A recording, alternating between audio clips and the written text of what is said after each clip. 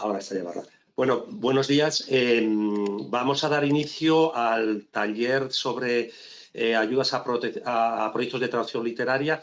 Bueno, como sabéis, em, hemos tenido que reprogramar, no, no, avanzó nada nuevo si, si os digo, bueno, la, situación en la, que, estamos todos uh, concernidos. Y entonces, bueno, sabéis que teníamos una, este taller está programado para que tuviera lugar en, Málaga en colaboración con nuestros eh, colegas de, Andalucía, pero bueno, debido a la situación que ya no vamos a, mencionar más, pues hemos, hemos eh, tenido la, casi la obligación insisto, en reprogramarla. Es verdad que desde aquí es la oficina, mis colegas sobre todo han tenido eh, cierta capacidad de reacción y bueno, lo hemos transformado en un webinar que creemos que también tiene su, su, impacto y su, y su, eficacia y este es bueno, un poco el formato en el que, en el que nos vamos a, mover.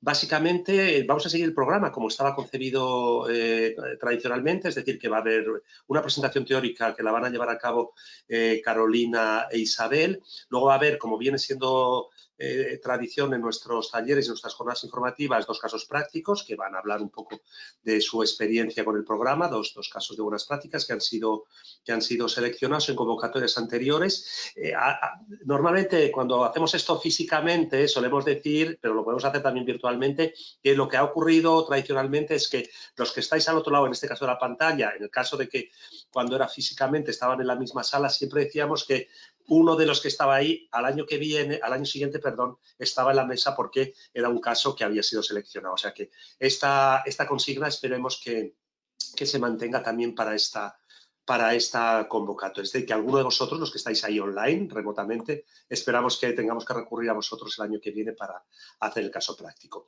Luego va a haber eh, eh, un turno de preguntas relacionadas, lógicamente, con la parte teórica que harán Carolina e Isabel o con los casos prácticos. Y luego la, contribución de este año, que eso sí que creemos que, puede ser de vuestro interés. Este año hemos decidido, eh, pues lo que estamos haciendo ahora, programar talleres de capacitación. Somos conscientes de que vosotros, el sector, lo requiere, convocatoria también, también lo exige. Y entonces habíamos establecido una secuencia que la vamos a seguir manteniendo, pero que, con, este, con esta pequeña modificación quedan tres talleres, eh, digamos, vinculados a temas que son de interés, eh, insistimos, para la convocatoria, pero también de interés para vosotros, porque creemos que, bueno, que, os puede venir bien, no solo para la ayuda de Europa Creativa, sino para vuestra actividad cotidiana.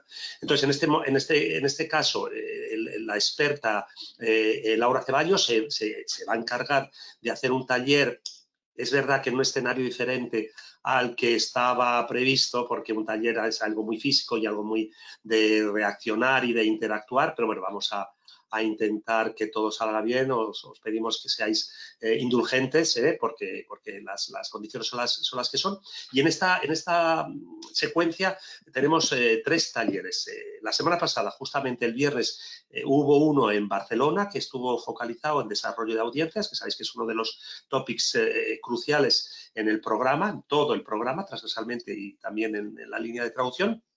El de hoy que es el que se encarga Laura, que va a ser marketing, editorial, ventas y, producción, y el que haremos, que haremos a ver si lo tenemos que reformular un poco, también estaba concebido como webinar, y en este caso va a ser propiedad intelectual y vamos, otro, otro, otro tema que sabemos que, creemos que puede ser de, vuestro interés. Así que bueno, pues esto es lo que hay. Eh, tenemos las... Eh, eh, condiciones que tenemos y bueno, pues con ellas vamos a jugar. Ha sido eh, la única posibilidad que teníamos, no queríamos cancelarlo de ninguna manera y bueno, pues así es. Exclusivamente os decimos que la presentación teórica para aquellos, incluido Bárbara y Diego, vamos a enfatizar, van, mejor dicho, mis compañeras, a enfatizar un poco cuáles son las novedades. Hay novedades respecto a las convocatorias anteriores, las tenemos muy puestecitas eh, en rojo. Y esto lo solemos decir en nuestras sesiones informativas, tanto la de traducción como la de otras líneas del programa. Si estas novedades nos las anuncian en la última convocatoria del periodo 14-20, es más que probable que sean novedades que se mantengan en el periodo 21-27. Es decir, que para aquellos que estáis preparando algo para esta convocatoria, que sepáis que posiblemente en el nuevo periodo 21-27 las, las, integren las, en, la, en la línea de traducción literaria que confiamos y estamos seguros de que le va a seguir eh, vigente en el nuevo programa. Así que ya os dejo con, con, las, eh, con, con, Carolina y con, y con Isabel. Y bueno, pues aquí estamos y ya lo sabéis, el momento que acaben las intervenciones, incluidas la de Laura, ahora mismo tenemos calladitos ¿eh? para que no haya, no haya interrupciones, a partir de ahí se abre el turno de, el, turno de palabra, pero no cuando acabe Laura, cuando acaben eh, Diego y Bárbara, y ahí hay dos posibilidades de, que intervengáis. Una, aparecerá un iconito que es una manita, eso quiere decir que nosotros veremos si queréis hacer una pregunta por audio, es decir, oralmente, que normalmente ha funcionado, y otra posibilidad que es que lo hagáis escrito, por escrito, nosotros lo vemos en nuestra pantalla, vamos nosotros y ellos, y pueden responder oralmente. Pero esto ocurrirá al final de la intervención de los casos prácticos y, por supuesto, eh, también al final de la intervención del taller. Así que os paso la palabra y suerte.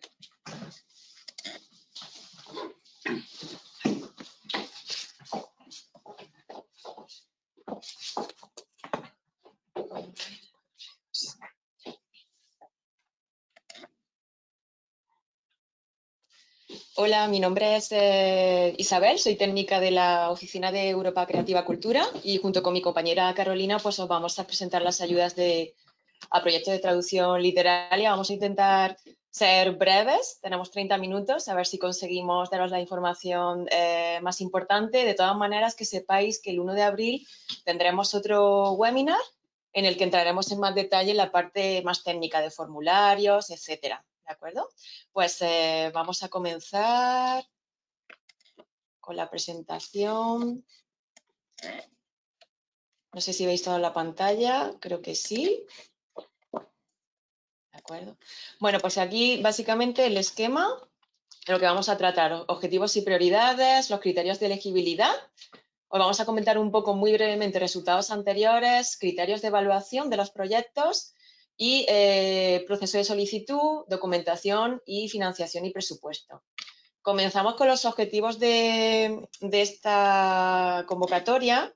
Eh, como sabéis, eh, los objetivos generales son apoyar la diversidad cultural y lingüística de la Unión Europea, promover la circulación transnacional y la diversidad de las obras literarias de calidad a largo plazo y mejorar el acceso y crear nuevas audiencias en la Unión Europea, pero también más allá de ella. Las prioridades específicas eh, pues, eh, serían eh, la promoción de traducciones literarias europeas, especialmente de géneros menos representados, como puede ser la poesía, literatura infantil y juvenil, etcétera, y de lenguas menos utilizadas, es decir, esas lenguas que sean traducidas a las cuatro grandes, entre comillas, como son el inglés, el alemán, francés y el castellano. También una de sus prioridades es la de promover el uso de herramientas digitales en la distribución y promoción, fomentar la traducción de obras galardonadas con el Premio Europeo de Literatura y eh, una última prioridad que es la de dar más visibilidad al perfil de los traductores. Por ejemplo, ya veréis que en la guía de la convocatoria se menciona que el editor tiene que incluir una biografía del traductor en cada una de las publicaciones. El impacto que se espera de este tipo de convocatoria es, por una parte, pues aumentar la oferta por parte de las editoriales e impulsar una mayor variedad en sus catálogos gracias a la traducción, circulación y promoción de, esos títulos extranjeros, aumentar el número de títulos extranjeros disponibles en los mercados nacionales y ofrecer más posibilidades a las lectoras y los lectores para acceder a una literatura extranjera de calidad. Y por último, como hemos dicho, eh, aumentar esa visibilidad de las traductoras y los traductores literarios y mejorar sus oportunidades profesionales. Los criterios de elegibilidad, ¿quiénes pueden participar en estas ayudas? Bueno, a día de hoy ya son los 27 Estados miembros. Eh, Reino Unido, como, sabéis, eh, está fuera, pero sigue participando en, en, la convocatoria por ahora. Los países de la EFTA, Noruega e Islandia, la Macedonia del Norte, República de Serbia, Bosnia y Herzegovina, Montenegro y Albania, y también Ucrania, Georgia, Moldavia, Túnez, Armenia y territorio de Kosovo. Organizaciones editoriales, organizaciones vinculadas al sector del libro de estos países pueden participar en, esta convocatoria. Eh, ¿Cuál es el perfil de los solicitantes? Bien, pues tienen que ser editoriales con sede social legal en uno de los países que hemos mencionado anteriormente, que forman parte del programa, y contar al menos con dos años de existencia demostrables con personalidad jurídica propia. ¿Cuáles son las novedades que se incorporan a esta convocatoria que, como dice Augusto, probablemente se mantengan en el, próximo programa? Pues que aparte de las editoriales, en esta, en esta ocasión también se pueden presentar otras organizaciones y agentes con personalidad jurídica del sector del libro y editorial además de, las, de, las, editoriales. Y por otro lado, si recordáis, si estáis familiarizados con la convocatoria, en, otras ocasiones eh, el solicitante era único, era la editorial interesada en incorporar esos títulos a su catálogo, pero eh, ahora sí que es posible que se presente también el solicitante eh, con una figura de consorcio, es decir, compuesto por varias organizaciones, que podría ser una editorial, una biblioteca, un departamento de publicaciones de una universidad, etcétera. Lo que es importante eh, tener en cuenta es que tanto el coordinador eh, como el resto de socios de ese consorcio cumplan con la totalidad de los, requisitos, de los criterios de elegibilidad, capacidad financiera y operativa, de no exclusión, que veréis que aparece reflejados en la guía de la convocatoria y que iremos viendo. Eh, bueno, aquí una pequeña nota eh, para que lo tengáis en cuenta, que previamente a la firma de ese acuerdo de cooperación, pues que cada miembro tendrá que firmar una declaración de honor para confirmar que cumple con esos requisitos. las solicitudes de organizaciones beneficiarias de proyectos de acuerdos marcos de colaboración firmados en 2018 no son elegibles, también si estáis familiarizados con estas ayudas, anteriormente había dos categorías, la categoría de proyectos de dos años de duración y la categoría de acuerdos marco de colaboración por tres años. Pues bien, en esta ocasión, aquellos, aquellos beneficiarios de esa categoría 2 de acuerdos marcos de colaboración, pues no podrán presentarse en la actual convocatoria. Por ejemplo, nosotros ahora mismo contamos con un beneficiario español, que es Esto Piso, que fue beneficiario en aquel año y que pues en esta ocasión no podría volver a presentarse. Sin embargo, los beneficiarios de otras ayudas anteriores con proyectos en curso pueden presentarse. Esto eh, cambió de manera puntual el año pasado, pero en esta nueva convocatoria vuelve a ser posible. Y por otro lado, tener también presente que, aunque las solicitudes de proyectos ya realizados eh, no están permitidos, sin embargo, aquellas solicitudes de proyectos que ya estén en marcha y cumplan con los objetivos de la convocatoria, pues podrán ser evaluados caso por caso. Eso sí, hay que tener presente que no podrán ser reembolsados los costes de aquellas actividades que hayan tenido lugar antes del envío de la solicitud. Eh, es muy importante que esos proyectos que estén en marcha, como decimos, eh, cumplan con esos objetivos de la convocatoria. ¿Qué tipo de proyectos? Bien, pues las editoriales o estas organizaciones del sector eh, del libro editorial tienen que presentar un paquete de, obras entre 3 y 10, obras de ficción de alto valor literario y eh, en, ese, proyecto, pues eh, no solo se contempla la traducción, sino que también la publicación, la distribución y la promoción de dicho paquete. Los géneros, eh, aunque hemos dicho que tienen especial, eh, bueno, valoran positivamente aquellas propuestas que estén relacionadas con géneros eh, poco representados, sí que tienen cabida todos los que están relacionados con la ficción, novela, relato corto, teatro, hemos dicho poesía, cómic, novela gráfica, literatura infantil y juvenil. Las autoras y los autores tienen que tener nacionalidad o residencia de alguno de los países elegibles que mencionamos anteriormente, las obras que se incluyan en ese paquete tienen que ser obras que ya eh, están publicadas y aquellas obras eh, tienen que no haber sido aún traducidas al idioma de destino. No obstante, como veréis en la convocatoria, se pueden plantear excepciones. Eh, si, por ejemplo, hay una edición en un idioma pues, que tiene ya eh, bastante años, es necesaria una revisión de esa traducción, etcétera, pues siempre y cuando se explique la necesidad y el impacto que se espera de, dicha traducción, puede ser contemplado. Pero, en principio, obras ya publicadas y que no hayan sido aún traducidas. Eh, esas obras pueden ser editadas eh, tanto en papel, ebooks o pueden ser también audiolibros. Como sabéis, tienen, han de ser proyectos de dimensión transnacional que incluyan a, pues, a diferentes autores. Este, es importante también que ese paquete de obras tenga un hilo discursivo. Eh, no se trata de eh, hacer un patchwork ahora me interesa este autor y este, este, autor noruego y este albanés y este francés, pero cuál es la, la, relación que puede existir entre ellos, qué temática es la que queremos poner de relieve relevancia, de eso pueden hablar mucho mejor nuestros invitados, Diego y Bárbara, es importante que, exista ese, hilo en el discurso. Eh, pueden incluir eventos especiales y acciones de marketing y distribución tanto dentro como fuera de la Unión Europea, herramientas digitales de promoción y actividades en, ferias y, festivales. Y fundamental, y lo veréis eh, remarcado en la guía, es eh, muy importante contar con una estrategia editorial sólida y bien definida. Y, Laura, desde luego, nos ayudará mucho en eso, sobre todo en la parte relacionada con eh, comunicación y, promoción.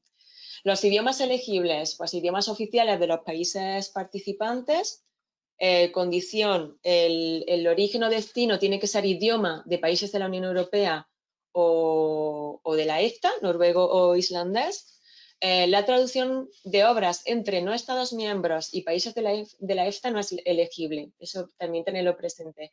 Es decir, que si estáis pensando en hacer una traducción de un autor albanés al islandés, pues eh, no sería elegible.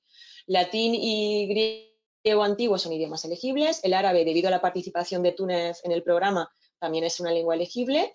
Es importante tener también presente que la lengua de destino, el traductor tiene que ser, eh, la lengua del traductor, la lengua materna del traductor, eh, tiene que ser a la que mm, se va a traducir la, obra, es decir, la lengua de destino. No sé si me he liado un poco, pero lo que quiere decir es que si, por ejemplo, eh, vais a hacer una traducción del francés al castellano, el traductor evidentemente tiene que ser español. Salvo justificación, ¿por qué? Porque sabemos que hay eh, lenguas que es complicado encontrar eh, traductores de, lengua materna de, ese idioma y por lo tanto pues eh, ahí se pueden barajar otras posibilidades, pero como norma general tiene que ser la lengua de destino la lengua materna del traductor. Como hemos mencionado, pues proyectos con dimensión transnacional, es decir, no es posible la traducción de un idioma oficial a otro del mismo país, del catalán al euskera no, no entraría. Periodo de elegibilidad serían dos años, posible prórroga siempre y cuando se justifique. Y esto sí que es muy importante, las actividades no pueden comenzar antes de la firma del acuerdo de cooperación, del Grant Agreement, con la agencia, o de la notificación de la decisión de subvención. Una vez más, hay ciertas excepciones eh, que se valorarían caso por caso, el inicio con carácter retroactivo por razones justificadas, se puede valorar, pero nunca antes del deadline. La subvención máxima que podéis solicitar es de 100.000 euros, que es un máximo del 50% del presupuesto de la cofinanciación, y la duración máxima de los proyectos, dos años. Calendario de la convocatoria para que lo tengáis presente bueno, se publicó el pasado 27 de febrero. Tenéis hasta el 5 de mayo eh, a las 5 de la tarde para presentar eh, vuestras propuestas. Ahora Carolina os explicará todo lo relacionado con el proceso de envío de solicitud, etcétera.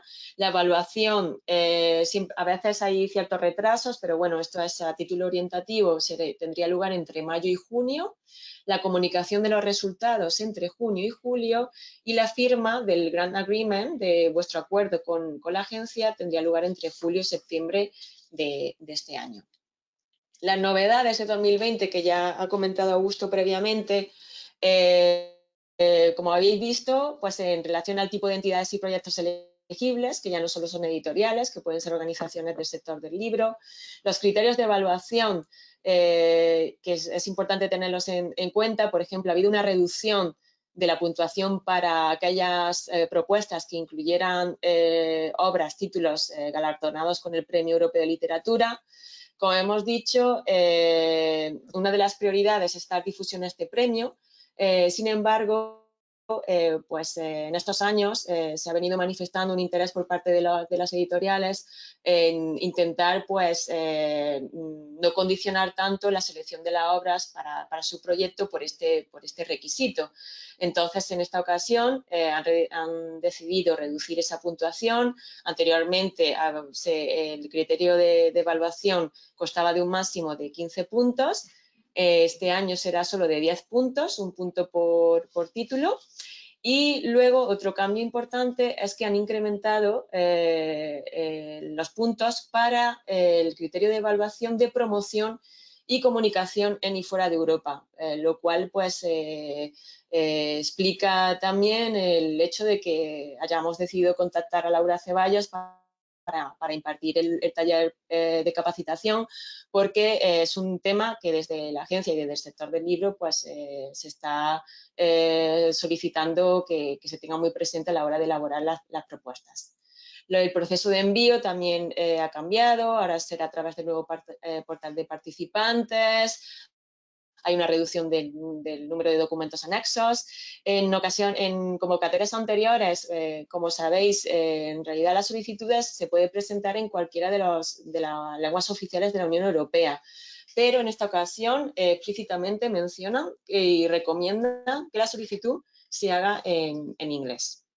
Luego, en relación a la evaluación de la capacidad operativa, pues solicitan una descripción de los participantes del consorcio, que como sabéis, pues es una nueva figura que se, incorpora también en esta convocatoria, el informe de actividades realizadas en el último año por el solicitante y la lista de proyectos, actividades, si es aplicable, financiadas por la Unión Europea en los últimos cuatro años.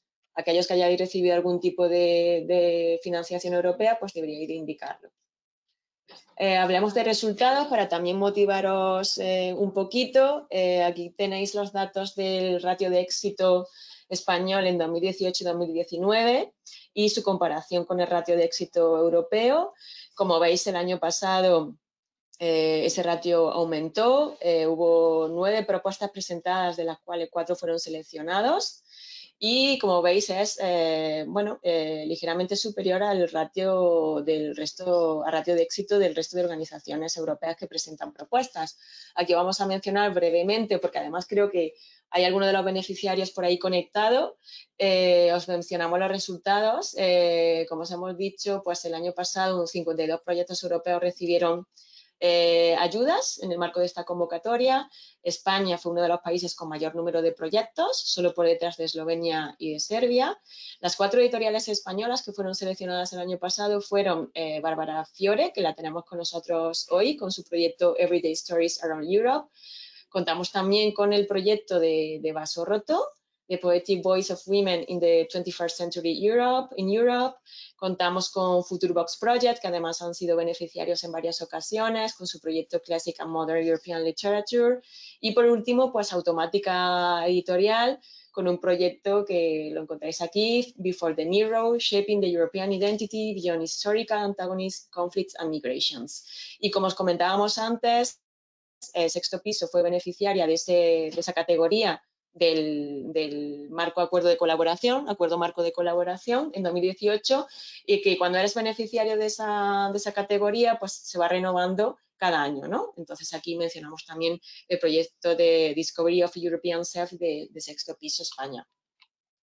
Los criterios de evaluación os los mencionamos eh, brevemente. Como os decimos, en el próximo webinar entraremos más detalle en la parte técnica, en esta y también en la parte de formulario. Pero para que los tengáis presente, ya que hemos mencionado esos cambios de puntuaciones, esos criterios de evaluación, así lo veis de manera más clara. Los evaluadores van a tener en cuenta a la hora de valorar vuestro proyecto, en primer lugar, la relevancia, con un máximo de 40 puntos, es decir, de qué manera eh, vuestro proyecto está aumentando esa diversidad literaria en, los países de, Europa, traducción de géneros menos representados, literatura para adolescentes, cómic y novela gráfica, relato corto y poesía, se impulsa la traducción de obras de, obras en lenguas menos habladas al inglés, al alemán, al, castellano y al francés, la estrategia de distribución, eh, la relevancia, si estáis realmente eh, proponiendo fórmulas para un mejor acceso, para llegar a nuevas eh, audiencias y el desarrollo de nuevas fórmulas de negocio. El segundo criterio sería la calidad del contenido de las actividades con un máximo de 25 puntos.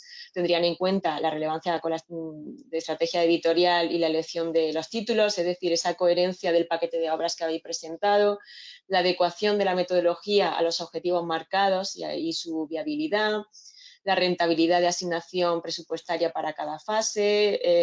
la palabra coherencia la escucharéis en muy a menudo en nuestros webinars porque es muy importante que eh, propuesta teórica, metodología y presupuesto eh, estén bien hilvanadas. El tercer criterio sería promoción y comunicación dentro y fuera de la Unión Europea, con un máximo de 25 puntos. Este es el criterio que, ha aumentado. Y aquí, bueno, y mm, Laura entrará de lleno y en detalle con herramientas y consejos, pero lo que valorará el evaluador será la adecuación de las actividades de promoción a cada libro y el alcance a nuevas audiencias y la contribución a dar visibilidad pues, tanto a los autores como a los traductores, las obras, el Premio Europeo de Literatura y el Programa de Europa Creativa en general. Y luego, como os comentaba, esos puntos automáticos por la traducción de obras galardonadas con el Premio Europeo de Literatura, que en esta ocasión se reduce esa puntuación máxima a 10 puntos y que sería un máximo de un punto por obra, es decir, 10 títulos incluidos en ese paquete. Y os eh, dejo con mi compañera Carolina. Sí, Augusto va a comentar algo. Sí. Ah, antes de que se ve, ¿sí? Ahora, ahora te ponemos ah. cuando cambiemos.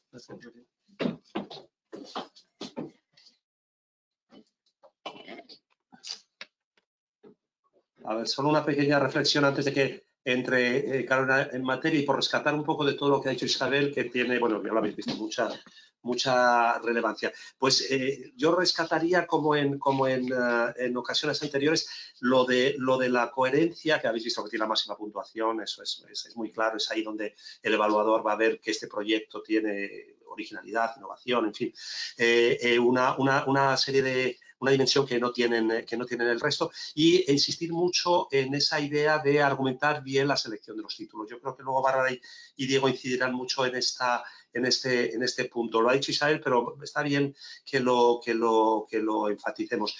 Que, que, que, el evaluador no tenga la sensación de que tenéis un fondo de armario, que lo habéis elegido de una manera azarosa, sino que efectivamente habéis elegido esos libros. Los libros tienen un hilo argumental, este hilo argumental se alinea con los criterios del programa, con los objetivos y eso, bueno, estamos en el ámbito literario, yo creo que para nosotros no es particularmente complicado redactar un texto que pueda, digamos, que pueda eh, eh, sustentar esta, esta, esta teoría. Y luego, eh, como segundo punto, que tampoco es, gratuito, porque claro, Isabel ha dicho, es algo que, ha habido realmente una, una, una, una, pelea, es el tema de los premios europeos de literatura. Ya sabéis que es un premio que depende del programa Europa Creativa y que efectivamente había que incluir algún premio si querías, ¿eh?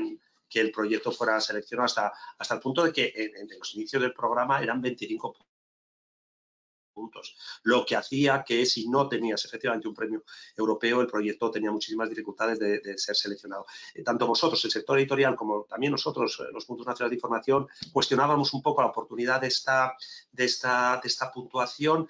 Eh, lo que nos decían desde la comisión era que era, bueno, pues que al final el premio europeo no tenía una, una recompensa o no tenía una dotación económica y que era una manera de dar visibilidad a los autores premiados, en fin, bueno, pero que esto entraba un poco en contradicción con lo que acabo de decir. Es decir, tú tenías que meter un premio que a lo mejor no se armonizaba bien con tu argumento eh, eh, eh, la selección de los libros de tu, paquete.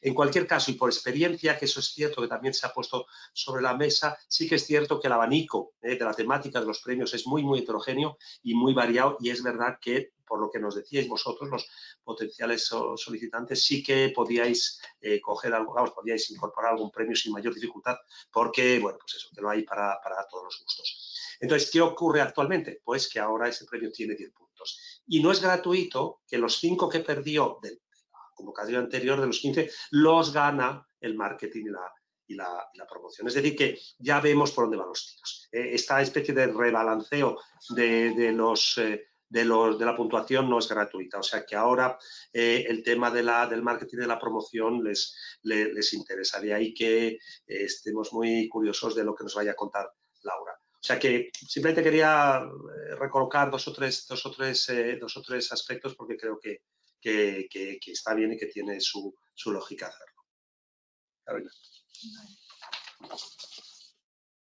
Bueno, pues empezamos con la parte que está relacionada con eh, la documentación que se solicita para esta solicitud em, y en general, bueno, para ver cómo funciona el proceso de envío, que aunque no vamos a entrar en mucho detalle, pero sí queremos que tengáis eh, toda la, información básica y que os podáis hacer una idea mm, lo más realista posible sobre qué os van a pedir y cómo es este proceso de, envío y qué implica. ¿no? La solicitud se va a realizar en, tres partes en cuanto a la, documentación que se, solicita. Em, por un lado, lo que llaman el, paquete A es la que tiene eh, toda la información con los datos del, solicitante y ahí hay que incluir un resumen del presupuesto eh, y de los currícula de las personas eh, que van a participar en el proyecto.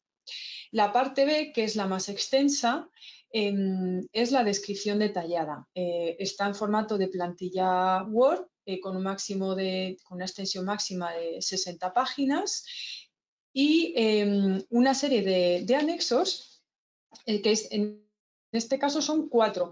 En aquellos que os hayáis presentado en anteriores ocasiones veréis que en esta fase de solicitud se, requieren muchos menos papeles, menos documentos. Lo que ahora se pide es eh, el presupuesto detallado, que es una plantilla en Excel, los currícula del equipo y la biografía de todos los traductores que van a participar, el informe de actividades del último año de la, entidad y una declaración responsable sobre los libros que, mm, se van eh, a, traducir, donde bueno, tú dices no solo qué, títulos y de qué autores, sino que te comprometes a, tener esos, eh, esos derechos, si no los tienes ya, que los tendrás eh, en el momento de, mm, antes de la firma del acuerdo.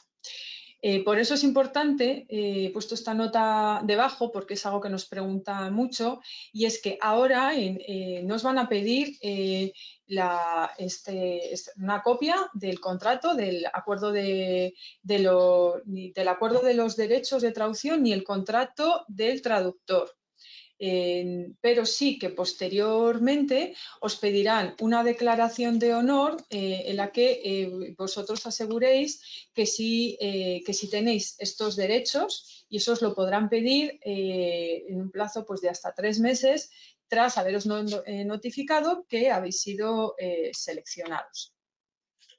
Para que os hagáis una idea más o menos de lo que contiene la descripción detallada, Aquí os hemos eh, hecho una, eh, una muestra de, todo, el, todo el, guion, porque como os decía, es la parte eh, con más desarrollo de toda la documentación que se, que se solicita. Pero para daros bueno, un resumen de, todos estos contenidos, pues primero em, tenéis que hacer una, en, un abstract pues, em, una presentación eh, de la propuesta, justificar su relevancia eh, en función de, de, la convocatoria y su valor añadido europeo, pues en relación a la nacionalidad de las obras que vais a seleccionar, em, eh, como eh, también eh, en función de esa distribución, ese alcance a nivel de la geografía europea y más allá que se va a conseguir, etcétera. y luego, claro, hay que justificar la propuesta de ese paquete de obras en función de todos los criterios de evaluación que os habíamos comentado antes, ¿no? Por ejemplo, el aumento de, de la diversidad literaria, idiomas implicados, géneros, la estrategia de distribución y cómo vais a facilitar ese acceso, eh, qué propuestas tenéis en cuanto a prácticas innovadoras de negocio. Y luego, por supuesto, la metodología, que esto es algo importantísimo y donde suelen eh, em, fallar eh, o, bueno, estar un poco más flojas las propuestas. Em, por eso es muy importante tener eh, muy presente que em, la metodología tiene que estar, por un lado, en función del público objetivo, también en función de una estrategia editorial concreta, es decir, el cómo lo, vamos a hacer. Eh, de hecho, mm, muchas veces los, evaluadores de estas solicitudes se quejan de que em, eh, muchas solicitudes no entienden muy bien la diferencia entre una descripción de las actividades, es decir, del qué vas a hacer y de la estrategia que es el, que es el cómo.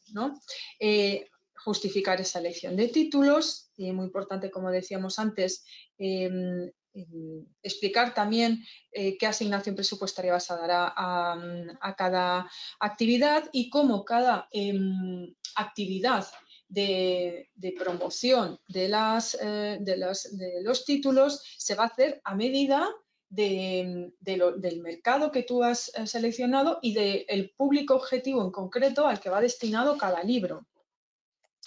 Además veréis que las actividades se estructuran en Word Packages, en paquetes de trabajo, en función de los eh, principales tipos de, actividad que se financia aquí, eh, como son el, propio gestión y coordinación de la propuesta, luego la fase de traducción, de la distribución y de la, eh, de la promoción. ¿no?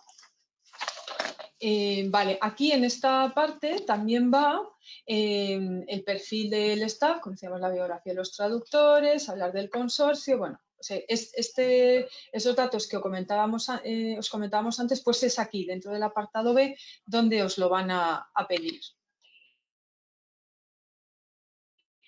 Vale, em, ¿qué fases comprende el proceso de solicitud? Y aquí veréis cambios importantes respecto a años anteriores que en general se van a aplicar a todas las, eh, eh, convocatorias em, em, que se produzcan de aquí en adelante. Lo primero es que cada solicitante, cada organización tiene que tener una cuenta e-login, lo que antes se llamaba cuenta eh, ECAS. Para ello se tiene que registrar.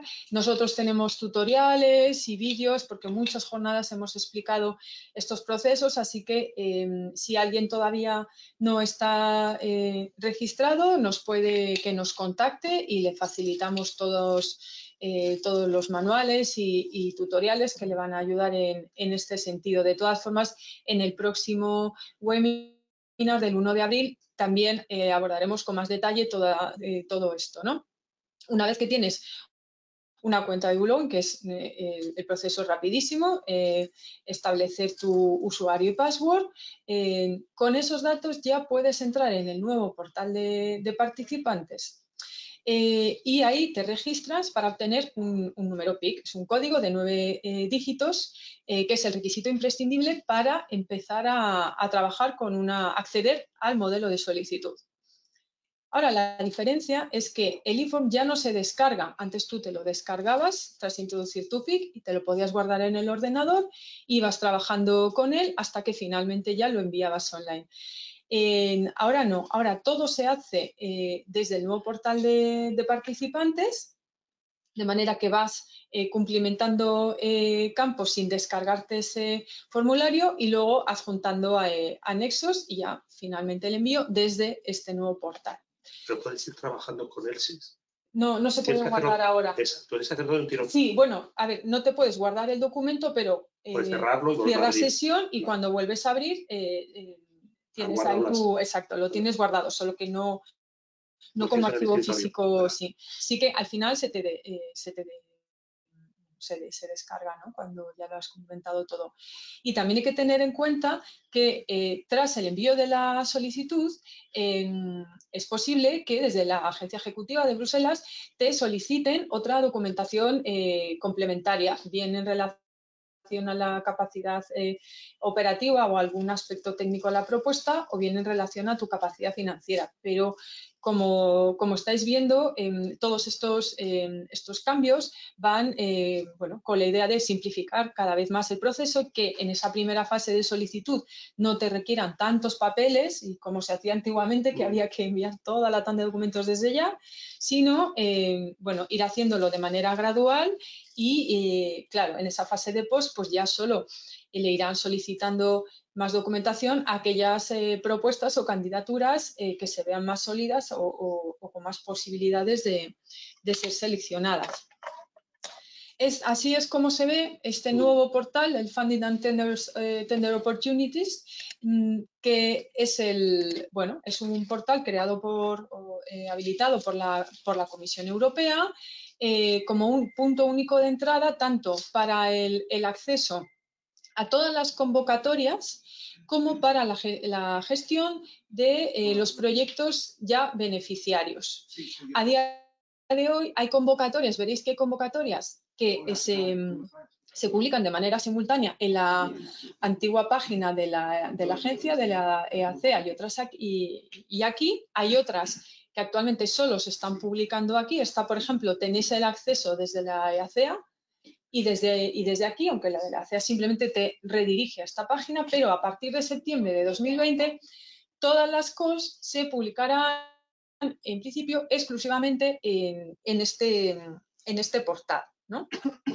Em, ¿Qué más? Ahí también, por ejemplo, recibiréis las notificaciones eh, con el resultado de vuestra propuesta, si habéis sido seleccionados o no, y si, eh, si sois seleccionados en la fase de implementación, otras notificaciones en las que eh, os puedan a lo mejor solicitar información o documentación, las recibiréis también por ese apartado de mis, mis notificaciones. Así es como se ve cuando uno selecciona esta convocatoria el, menú que, aparece a la izquierda eh, es cómo se estructuran los contenidos. ¿no? Primero te hace un resumen, un resumen, claro, de, eh, con la descripción de la propuesta. Ten en cuenta, bueno, luego lo veremos, pero que hay un documento que contiene eh, las bases de la, todas las bases de la convocatoria. un apartado muy interesante, que esto es nuevo y muy útil, es la búsqueda de socios, que es el tercero que tenéis ahí.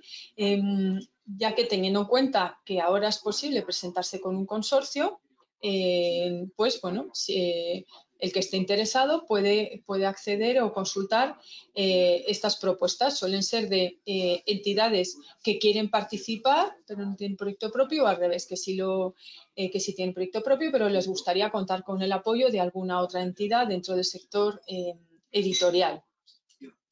Y debajo, como veis, eh, si eh, pulsáis en el botón amarillo, eh, accederíais a la, ya al inicio del proceso de, envío. ¿no? Por comentaros también otros aspectos que se ven en, cuanto a la estructura de contenidos, que se ve la columna de la, de la izquierda, en Get Support, por ejemplo, ahí tenéis un, un, correo electrónico, pues si tenéis algún problema, algún problema técnico con esto y el último apartado de updates, de actualizaciones, pues si hubiera algún cambio de, por ejemplo, yo que sé, el formulario, eh, la plantilla de Excel del presupuesto se ha corregido porque se ha detectado un fallo. Bueno, pues todo eso se, notifica por ahí. Entonces, como decíamos, le puedes dar al, inicio de eh, Start Submission y esto es lo que, esto es lo que te encuentra, ¿no? Eh, lo que te encuentras. Lo primero que os dicen, que esto también es nuevo, es que insiste mucho en que em, os recomiendan que eh, por favor las solicitudes se envíen al menos 48 horas antes del deadline y que si alguno em, tiene cierta duda o desconfianza en cuanto a que si lo envía antes em, puede haber problemas de confidencialidad porque se, a lo mejor se empiezan a leer antes unas propuestas que otras, bueno, eh, que se queden todos tranquilos porque, eh, porque no es así hasta el momento del deadline eh, o incluso a posteriori no, no se empezarán a, abrir las, em, las, solicitudes. Otra cosa nueva también es que a partir de ahora em, puedes, siempre y cuando estés, sea antes del deadline, puedes enviar la misma solicitud más de una vez. Si, por ejemplo, te das cuenta de que te ha faltado incluir una parte importante, bueno, pues la, vuelves, a, la vuelves a enviar y se entiende que, esa sustituye eh, a la anterior. Y como veis en la columna de la izquierda, te puedes descargar eh, ahí las plantillas que van como, como, anexos a la parte B. Luego aquí a la derecha veis que introduces tu número PIC y tu nombre y ahí ya eh, puedes empezar a, puedes empezar a escribir. A escribir. Fundamental, los documentos de referencia, eh, que son eh, básicamente los más importantes son estos. La Call for, Proposals, que la tenéis ahí eh, señalada, es la que tiene todas las bases de la, de la convocatoria. Están en inglés, bueno, y en otros, y en otros dos idiomas, pero incluso está la posibilidad de solicitarla en castellano. ¿vale? Eh, ellos tienen un plazo para, dártelo, pero bueno, es un, derecho que, tenéis. Como manuales de apoyo em, está, por un lado, la, Guide for Applicants, que es la guía general del, usuario, vale, eh, esta es genérica, ¿vale? Para, para todas las nuevas convocatorias. Válida tanto para el solicitante como para los eh, beneficiarios en relación a los informes técnicos que luego que tienen que presentar para la implementación del proyecto. Esta se centra en una serie de reglas y requisitos, o sea, te recuerda un poco cuáles son los requisitos de elegibilidad, criterios de exclusión, capacidad operativa y financiera, criterios de evaluación o cuáles son los roles y responsabilidades de, los participantes y te explica de una manera más somera cómo es el, proceso de envío y, te incluye también, esto es muy, muy útil, una relación eh, de, los documentos que vas a necesitar para llevar el control financiero si eres beneficiario de la propuesta. Que todos aquellos que pueden tener dudas o eh, que, estén preocupados porque piensen que a lo mejor luego la carga de trabajo en cuanto al control de todas esas facturas, contratos, etcétera, que no saben muy bien qué volumen tiene o, qué nivel de exigencia hay, pues es muy útil para que te hagas una idea de lo que después te, podrían eh, o te van, a, te van a pedir para la implementación del proyecto. Y ese otro, eh, el segundo manual, How to Submit a Proposal, em, es más una información de tipo técnico informático eh, sobre el proceso de envío, eh, muy ilustrativo porque es todo a base de impresión de pantalla de los procesos. Te muestra cada paso, eh, desde el inicio que te creas la cuenta de un login hasta que seleccionas la convocatoria de interés, te pones a trabajar ya con el borrador y lo, y lo envíes. Y nada, rápidamente para daros unas pinceladas sobre cómo se plantea la financiación y el presupuesto, se entiende que eh, hay cofinanciación, porque como decíamos, la ayuda europea solo te puede cubrir hasta el 50%, eh, y tú, eh, tu aportación la puedes hacer bien con recursos propios, es decir, de, lo que ya dispones, o ingresos que, se generen por las actividades, o por ejemplo, si vendes entradas para hacer una actividad de promoción con un autor, promoción de un libro, pues eso también se puede incluir ahí, o contribuciones de terceros, pues de otras ayudas que, o subvenciones que recibáis. En, principio, eh, si mm, se, valora que tu eh, capacidad o solvencia financiera eh, está bien, te dan una prefinanciación de, del 70% al mes de la firma y ya el pago final es el 30% restante tras la presentación del informe final, es decir, una vez que ya has acabado el, el proyecto y sí que eh, para los que piden eh, ayudas eh, igual o, superiores a los 60.000 euros, que pues la mayoría de los casos en esta convocatoria, te podrían requerir una garantía por parte de un banco o de una institución financiera si vieran que, bueno, que vuestro músculo financiero es muy, muy débil. Pero bueno, esto hay que decir que ocurre en muy pocos casos, pero que sepas que sería una opción. Y em, ya casi estamos acabando en, este apartado, eh, que sepáis cuáles son los costes eh, elegibles, los que os van a afectar en, el desarrollo del presupuesto.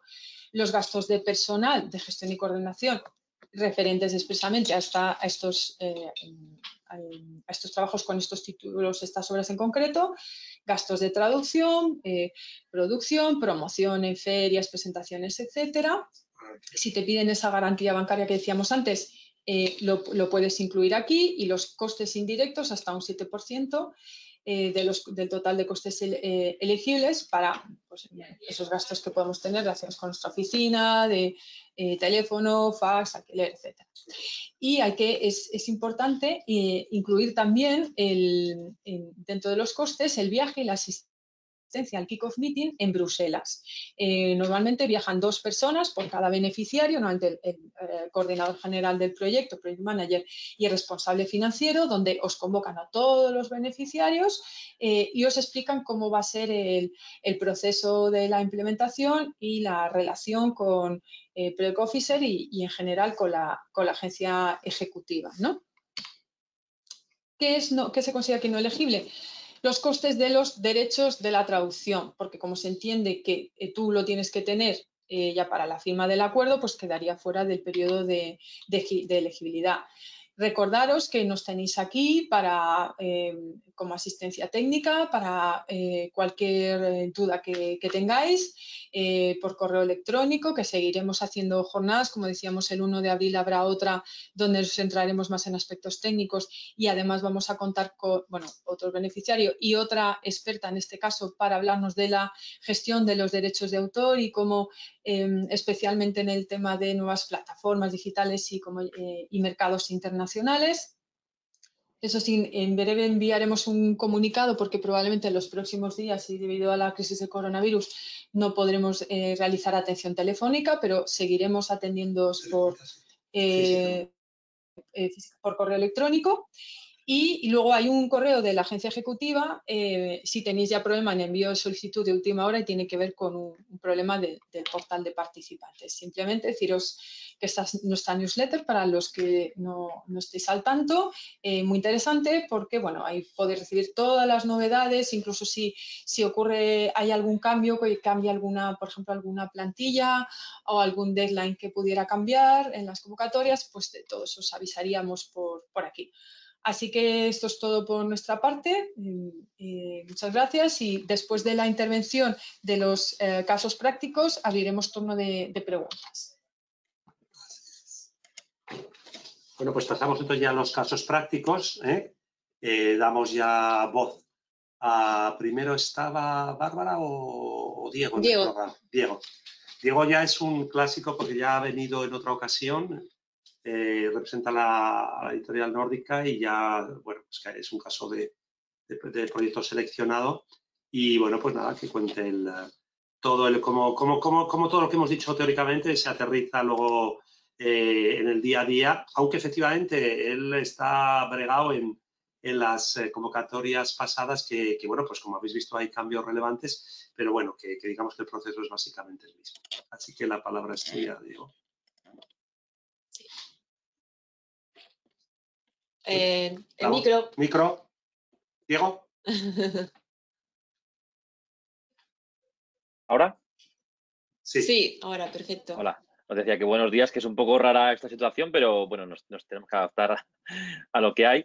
Eh, bueno, como, como, comentabais, nosotros tuvimos esta ayuda en la convocatoria del año 2015 y bueno, os voy a contar un poco lo que, lo que hicimos, cómo, cómo planteamos la estrategia, qué tipo de proyecto fue nuestro y espero que os sirva. Desde luego, espero que, ah, las preguntas eh, puedan también contribuir a, solventar dudas.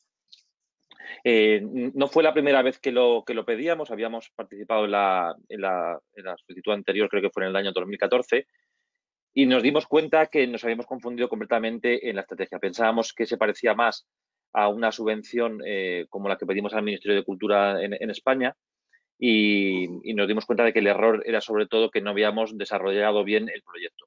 Una de las cosas que, os han eh, informado y que, sale continuamente, que esto de la coherencia, es realmente así. Necesitábamos un proyecto potente en el que los libros tuviesen sentido y no una, suma de títulos porque te interesaba publicar y que pensabas que, que, porque los títulos eran buenos ya tenías parte ganada a la hora de conseguir esta ayuda. No, no era así.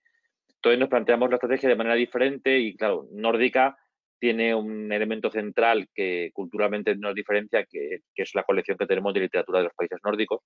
Y fue en este campo en el que nos centramos para, crear nuestro, nuestro proyecto, ¿no? que como veis aquí es The Nordic Peoples, The Nordic Social Model as Seen from the South through its literature.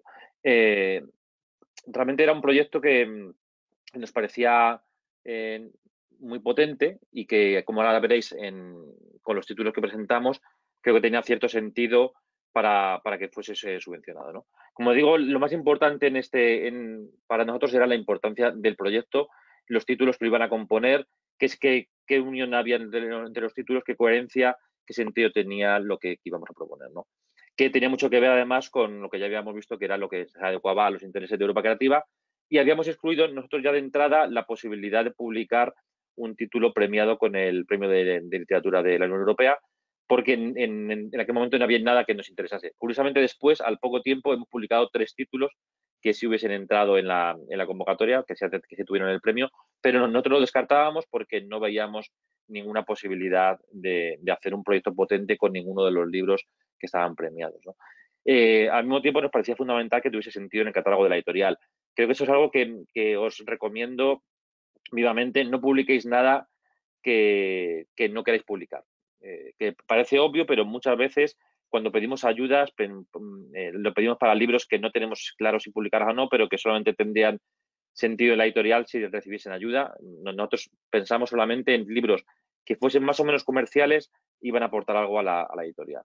Y de hecho, creo que antes de seguir con esta parte, os voy a presentar los libros que, publicamos y luego sigo con los restos de los puntos. Presentamos siete títulos, un proyecto que, integraba eh, la visión de la literatura nórdica desde los libros para más pequeños a literatura para adultos, diferentes voces, diferentes tipos de escritores, diferentes géneros. Y empezábamos con, con Tina Superfriolera, que es una autora islandesa de un álbum infantil para prelectores, de manera que eh, íbamos desde los más jóvenes, desde los más pequeños, a un público completamente adulto. Entonces, digamos que la, secuencia sería Tina Superfriolera como un libro para, para cuatro años, Corazones de Gofre como un libro para lectores de 9 a 11 años, una autora noruega, y ahí ya subíamos a diferentes autores de los países nórdicos. Tenemos una autora islandesa, una autora noruega, una autora sueca, de Taina Delina Kron, que es una autora finlandesa de género de ciencia ficción, El chico que nunca existió, de Sion, que es un escritor eh, eh, islandés también, Copenhague que vuela a París, que es una antología de poesía danesa contemporánea, El círculo se ha cerrado de Nuth Hamsun, que es uno de los grandes eh, nombres de la literatura nórdica de todos los tiempos. Es decir, un poco lo que queríamos dar era una visión integral de qué pasaba en la literatura de los países nórdicos, eh, de, manera que, visto desde el, sur, tuviésemos una, perspectiva un poco eh, amplia de su riqueza cultural. Es decir, estos países que para nosotros quedan distantes en el espacio, eh, cada vez son más cercanos. Y además su literatura ha sido muy influyente en todos los ámbitos, tanto en la literatura infantil y juvenil como en la literatura para adultos. Entonces queríamos que fuese una representación y que además los libros dialogasen bastante bien entre ellos, pese a ser libros de diferentes países, sí que había como cierta, cierta unidad a la hora de entender cómo es la cultura de los países nórdicos. Entre otras cosas porque en todos ellos hay un, estilo narrativo común de sencillez que, poética que, es, que, define de manera general a la literatura de los países nórdicos, un estilo austero pero, pero de gran calidad literaria y que, eh, visto desde España, es muy diferente a lo que nosotros hacemos. De manera que hay también una contribución a ver la, narrativa desde otro punto de vista. Eh, además, los libros dialogaban, como digo, por, diferentes autores de diferentes generaciones. No teníamos autores, eh, no solamente el público al que van dirigidos, sino los propios autores eran de diferentes generaciones. Hablamos de, escritores como María Parr o, Lani Yamamoto, que están en torno a los 30 años, hasta escritores clásicos como Knut Hamsun, que, son de finales del siglo XIX hasta mediados del siglo XX. Eh, una antología de, poesía danesa que nos muestra qué está pasando en la literatura de ese país, de manera que, tenemos una perspectiva eh, bastante importante de lo que pasa en un solo país en el ámbito de la, poesía. Y luego eh, Islandia con, con, su escritor joven más importante, Sion, que además también ha sido letrista de Björk, de manera que tiene eh, como una doble faceta desde el punto de vista cultural, que es la de escritor y además también músico. Eh, también queríamos incluir eh, algo que es poco conocido en España, que es la literatura de ciencia ficción nórdica, con la escritora finlandesa Lina Kron, o la narrativa, digamos, más de, narrativa potente actual, como Eva Marie Lifner, una escritora, sueca. ¿no?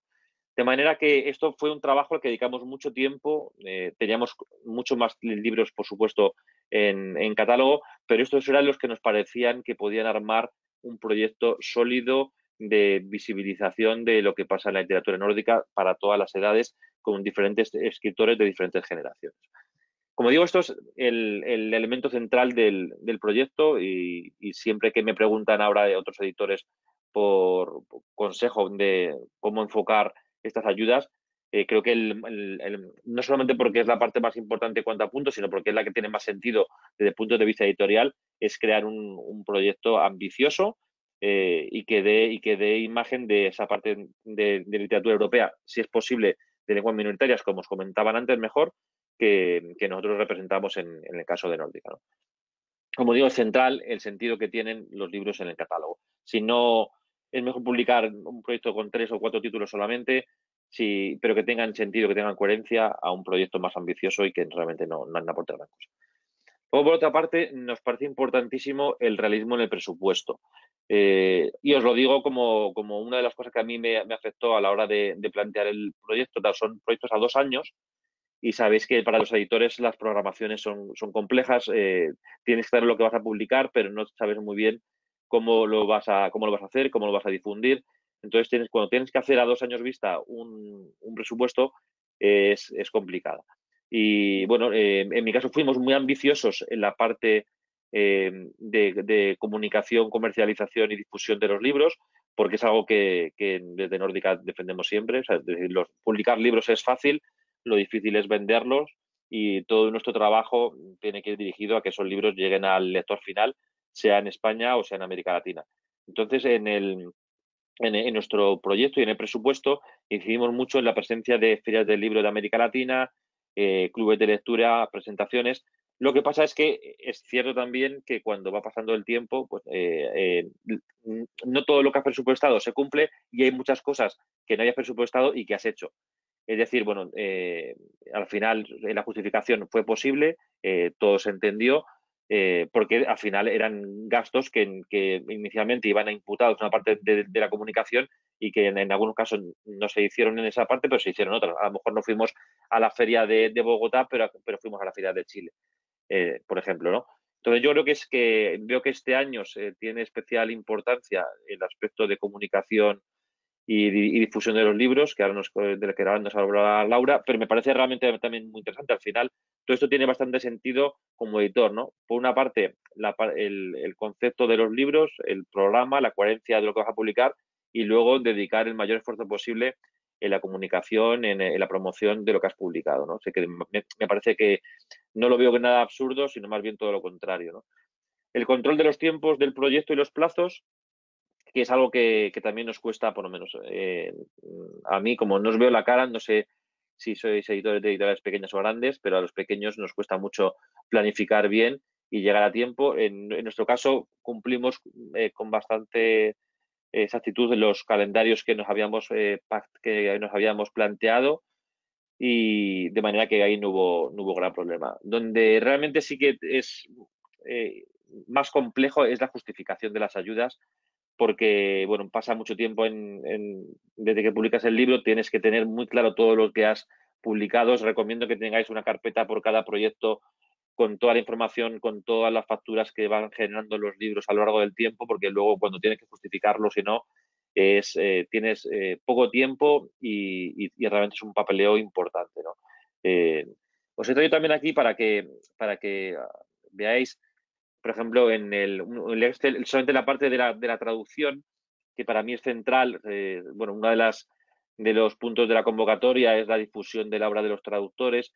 Entonces yo lo primero que hice fue plantearme que tenía que pagar a los traductores especialmente bien. Eh, sabéis que, bueno, que una queja eh, habitual por parte de los traductores, una queja real, es que pagamos poco los editores.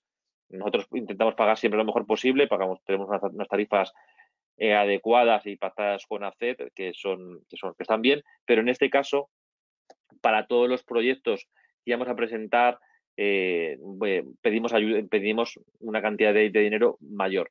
De hecho, en, la fase de, justificación tuvimos varias, varias eh, comunicaciones con, con, la gente de Europa Creativa porque les parecían cantidades muy altas y yo lo que les dije es que habíamos cogido las tarifas más bajas que paga la Unión Europea, que son muy altas. Entonces, para que pues, podáis ver que hay libros que de 200, 300 páginas que pagamos casi 9.000 euros de, traducción, eh, un, álbum que tiene muy poco texto pagamos 1.000 euros. Es decir, hicimos una inversión importante en el pago a los traductores, porque eh, está bien fomentar su visibilidad, que aparecen en los libros, aparecen en, en la web y todo, pero creo que lo más importante es que estén remunerados de manera justa, sobre todo cuando vas a recibir dinero de la Unión Europea por un proyecto de, este tipo en el que la traducción es esencial. En el caso de la literatura de los países nórdicos, eh, los traductores son centrales para nosotros. Gran parte de los libros que hemos publicado en este proyecto han sido sugerencias de los traductores. De manera que no me parecía eh, aceptable eh, que el dinero llegase a la editorial, pero no, no fuese a, a, contribuir de alguna manera especialmente mayor en el trabajo de estos traductores que son tan importantes. Así que el consejo que os doy es, ya que presentáis una ayuda con, en la que podéis pedir una cantidad de dinero importante, creo que, el, anticipo que pagamos al traductor debe ser también eh, elevado. Eh, en nuestro caso, como os decía, los países de procedencia de los libros serán Islandia, Noruega, Suecia, Dinamarca y Finlandia. Es cierto que, tenemos, que ahí tenemos una ventaja que todos son países de lenguas eh, minoritarias, de manera que es más fácil también a la hora de presentar un proyecto que si son de lenguas más importantes de la Unión Europea, pero sobre todo, como os digo, era una idea de que todos los países nórdicos, los, cinco países nórdicos estuviesen representados eh, por escritores de diferentes generaciones por textos relevantes para diferentes lectores. Eh, había cuatro, entre los libros que presentamos, entre los títulos, había cuatro novelas, un poemario, un álbum infantil y una novela juvenil. Nos pareció también que el proyecto tenía, parte de la riqueza del proyecto, como os decía antes, eh, tenía que ver con la, con la, diversidad de géneros. Es decir, no solamente narrativa entra en el catálogo de Nórdica, no solamente los nórdicos son potentes en sino que son sus literaturas tienen mucho que ver con la, con la diversidad a la hora de, plantear el género eh, y la manera de enfocar el discurso que quieren transmitir. Eh, son potentes en, tanto en infantil y juvenil, como en poesía, como, en narrativa, como en ensayo, que también hubiera sido posible incluir algún ensayo. Eh, de manera que yo creo que esta parte central es, de qué géneros y qué países nos, ayudó mucho a configurar el, proyecto. Y luego, en, bueno, como comentaba la tarifa y también el prestigio de los traductores. Eh, tres de los traductores con los que hemos trabajado son los más importantes en, España. Eh, alguno de ellos es Premio Nacional de Traducción. Todos ellos han sido premiados en sus países por la enorme calidad de su trabajo. De manera que, bueno, que era eh, una manera también fundamental de que, lo que eso que es, como decía antes, se está fomentando con esta con este, con este mm, eh, con esta subvención, que es la difusión de la obra del traductor, estuviese también eh, desde el punto de vista del nombre, por supuesto, el nombre siempre en la cubierta, la difusión que hacemos siempre de cara a los medios de comunicación del trabajo de los traductores, que, es algo que, de lo que vivimos sobre todo los editores que publicamos autores de otros países. Y también os quería presentar el PDF con el que presenta que de, presentación del proyecto, ¿no? En nuestro caso tenía 11 páginas, como veis ahí se pueden presentar hasta 60 páginas, creo que, he visto en la, convocatoria. Eh, pues lo hicimos en inglés directamente, aunque se podía hacer entonces en, también en castellano, pero y presentamos cada uno de los libros, el, sentido que tiene cada uno de los libros, el sentido que tiene eh, este proyecto de manera, global. Eh, bueno, el, libro, el proyecto fue premiado y, recibimos la ayuda. La verdad es que vino muy bien porque algunos de los libros han funcionado mejor comercialmente, otros tienen un recorrido más lento, pero obviamente un proyecto como, como este eh, ha, contribuido de gran manera a que estos libros eh, hayan podido tener sobre todo una parte de difusión y comercialización que quizás sin la ayuda hubiese sido más pobre, porque es verdad que todos ellos tuvieron un plan de comercialización muy ambicioso, muy potente, que se, que se pudo financiar en gran medida gracias al, a la Europa, Europa Creativa. Eh, y bueno, por mi parte, de momento esto es todo. Espero que, que tengamos eh, la posibilidad de, hablar ahora si tenéis preguntas, porque, bueno, como digo, esto es, este funcionamiento es un poco raro para generar un coloquio, pero espero que, sea posible de alguna manera vuestras intervenciones también. Gracias. Gracias, Diego. Nada, muy, muy, muchas gracias. Sí, ha estado, ha sido muy claro.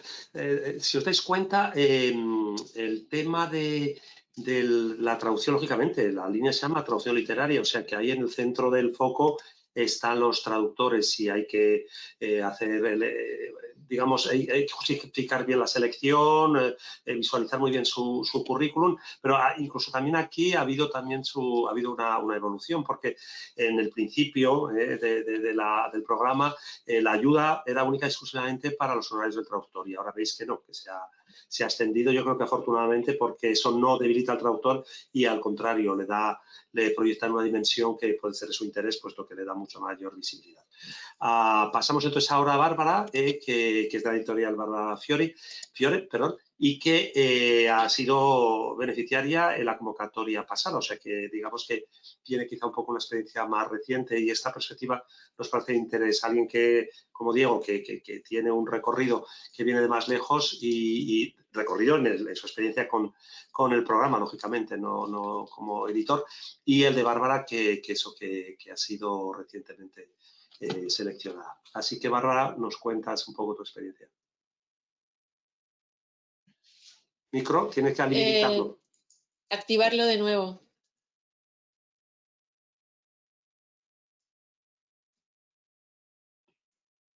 Ahora, ahora debe de ir. ¿Habla? ¿No? A ver, Bárbara. Voy a ver, este, David. Sí, ahora. Sí, ahora, ahora, perfecto. Ahora sí. Hola. No. Espérate. Paco. Lorenzo, ¿quiere llamar a papá? Pero ya.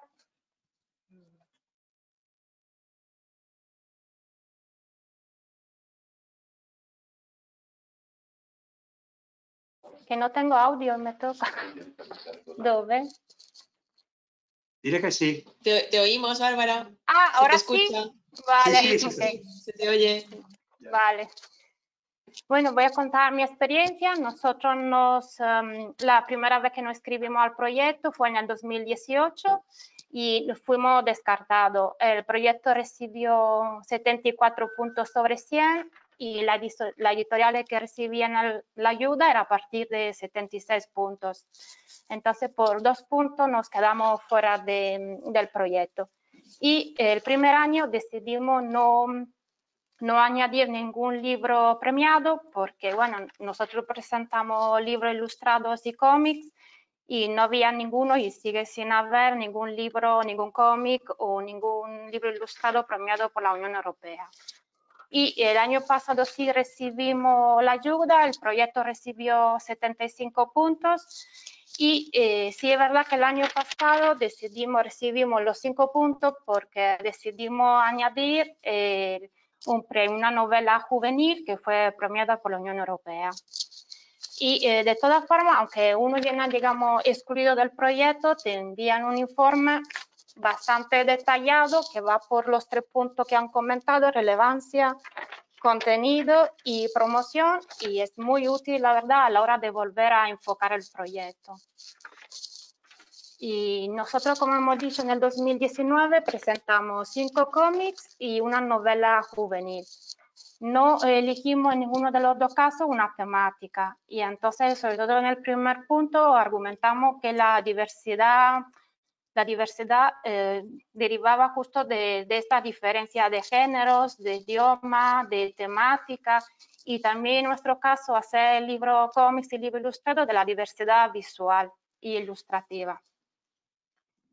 Y eh, también se valoró en nuestro caso que también presentamos eh, idiomas minoritarios, del noruego, dos del italiano, un luxemburgués y un neerlandés. Y también se valoró positivamente que nuestra estrategia de distribución. Nosotros decidimos, digamos, articular este punto de distribución dividiéndolo en, libros ilustrados, en ferias, en ebook. En libros ilustrados hablamos de los, nuestros canales de venta, sea en España que en América Latina. También comentamos que en América Latina participamos en las distintas mm, licitaciones gubernamentales y en ambos casos siempre hemos puesto varios, varios ejemplos. También comentamos eh, las ferias, el segundo punto son las ferias y comentamos las distintas ferias en las que participamos y eh, en cada feria sí añadimos número de visitantes y el perfil de, de las personas que acuden a la feria. El tercer punto eran los ebooks, que nosotros en este proyecto decidimos por primera vez editar ebook y los distintos canales donde eh, intentaremos que estén presentes los ebooks que editaremos. Otro punto que se valoró positivamente de nuestro proyecto fue la elección de los títulos. Eh, nosotros, la verdad, en el proyecto hemos intentado siempre respetar los 2.000 caracteres, que es los que se aconseja. Entonces, en este caso, en el proyecto, en el Word, eh, intentamos solamente poner de cada título una pequeña reseña del libro. Y en el otro documento, que también pide información sobre los libros, sí es verdad que no hemos tenido más y hemos recalcado más los premios que han recibido los autores, aunque no sea precisamente del libro, y la reseña que han recibido y también destacamos que hay muchos autores que lo que vamos a editar, que también tenemos mm, ya editado varios libros, uno en particular que el autor noruego, que sería nuestro quinto libro. Y además siempre hemos intentado destacar que solemos somos como una editorial de autor, en el sentido que editamos, eh, nos gusta seguir la trayectoria de los autores. Y otro punto importante son eh, el currículum de los traductores, Eh, nosotros elegimos traductor especializado todo en cómics y especializado en el idioma de traducción.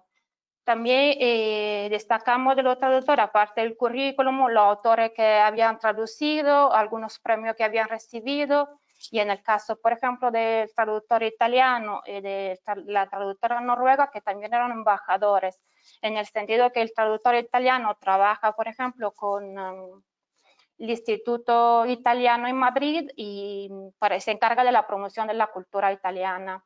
Y en el caso de, la traductora noruega, también trabaja con el Instituto Nola, digamos, es embajadora de la cultura, eh, de la literatura de la cultura noruega. Eh, del libro luxemburgués también tuvimos que eh, argumentar que la traducción al final tenía que ser del italiano.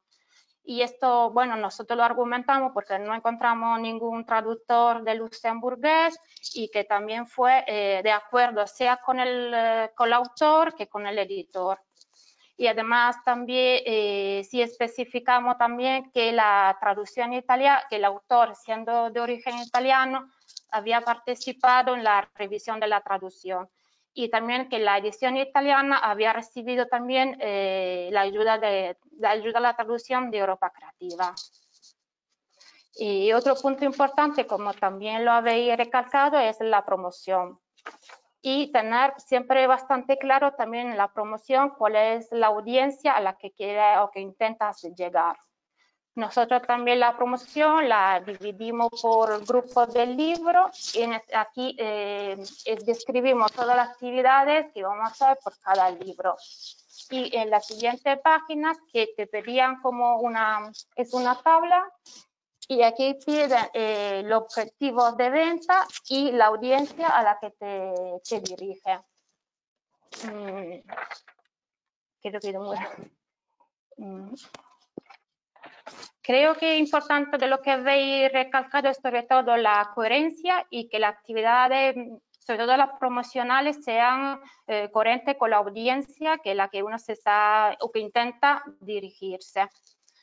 Eh, también destacar que se nos, la, la, promoción que se va a hacer de los traductores, nosotros ya en nuestra página web teníamos una página dedicada a cada traductor con su link y su foto y también lo mencionamos.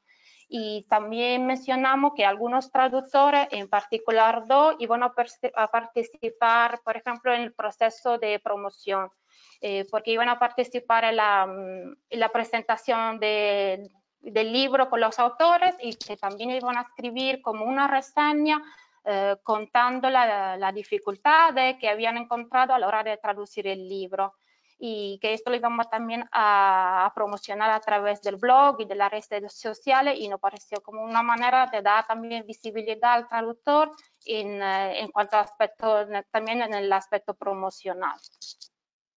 Mm. Una cosa. Mm. Em, no sé, yo creo que lo, lo, he dicho todo. Si tenéis alguna pregunta, a lo mejor he ido muy rápido, no, no sé.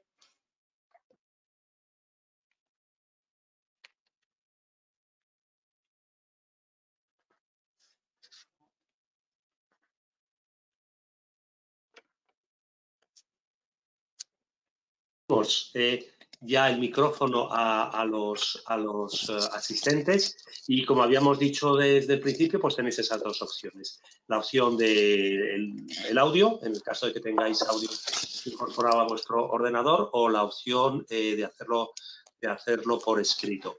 Así que, bueno, pues esperamos vuestras intervenciones, tanto para nosotros, la parte teórica, como para los representantes de las editoriales eh, de los casos prácticos. Podéis eh, mandar la pregunta por escrito, podéis eh, darle la manita, levantar la mano y, os escuchamos.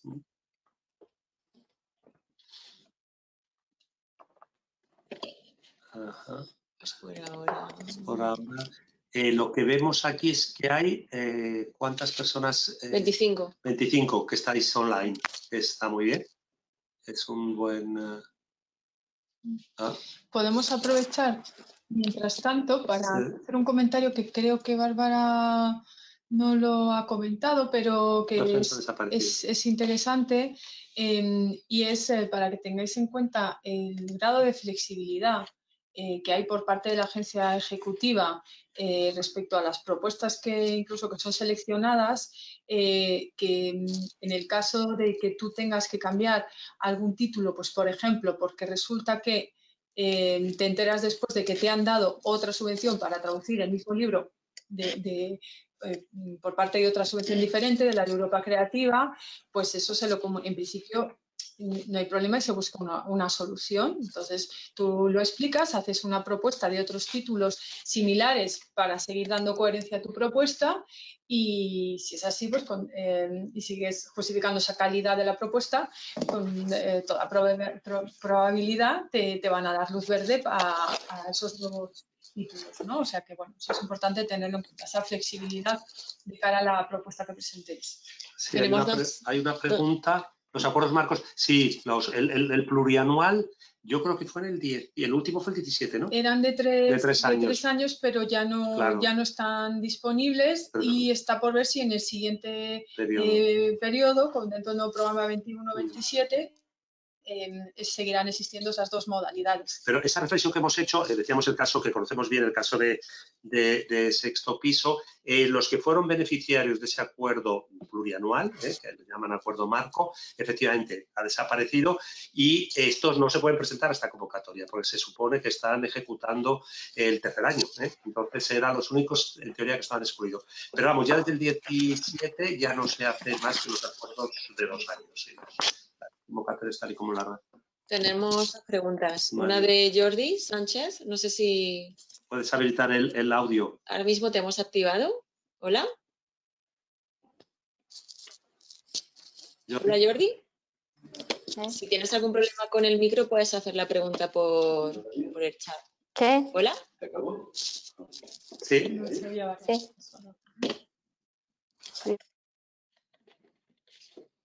No, no se oye. Hola, Jordi.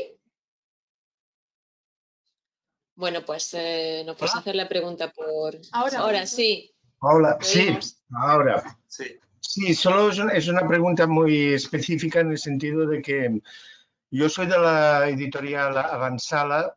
Empezamos este septiembre, pero iniciamos eh, la editorial hace dos años, pero lo hicimos como solo hay una persona autónoma detrás, jurídicamente detrás de Ediciones Avanzala.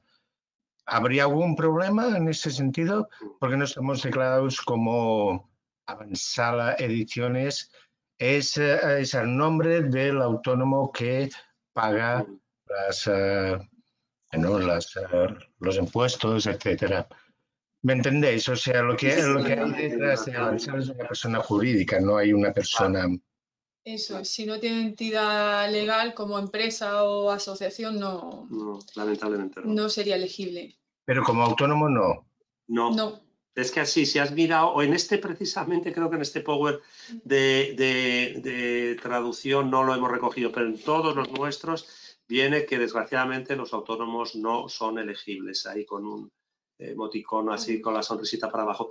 Entonces tenéis que tener cualquier tipo de, mm, eh, de, estatuto legal, por hacer la traducción directa del inglés, el que sea. Y como este año, para colmo, bueno, para colmo, eh, bienvenido sea, se ha abierto el espectro, ya no solamente son las editoriales, pues podría ser una, eh, yo que sé, un gestor editorial, puede ser un agente literario, pero siempre con ese condicionamiento. Figura legal desde hace dos años. Siguiente pregunta. Incluso si hemos publicado dos libros y, han aparecido como Avanzala Editions. Es que me extraña mucho, ¿no? Porque para poner. Es que Sala Editions, que es Una pregunta, ¿Sala Editions que sería una marca, marca comercial? Supongo, no sé. Nosotros eh, solo sé que Estamos eh, registrados con el gremio de editores, o sea, somos una, editorial, solo que a nivel financiero es una persona quien está a cargo de esto.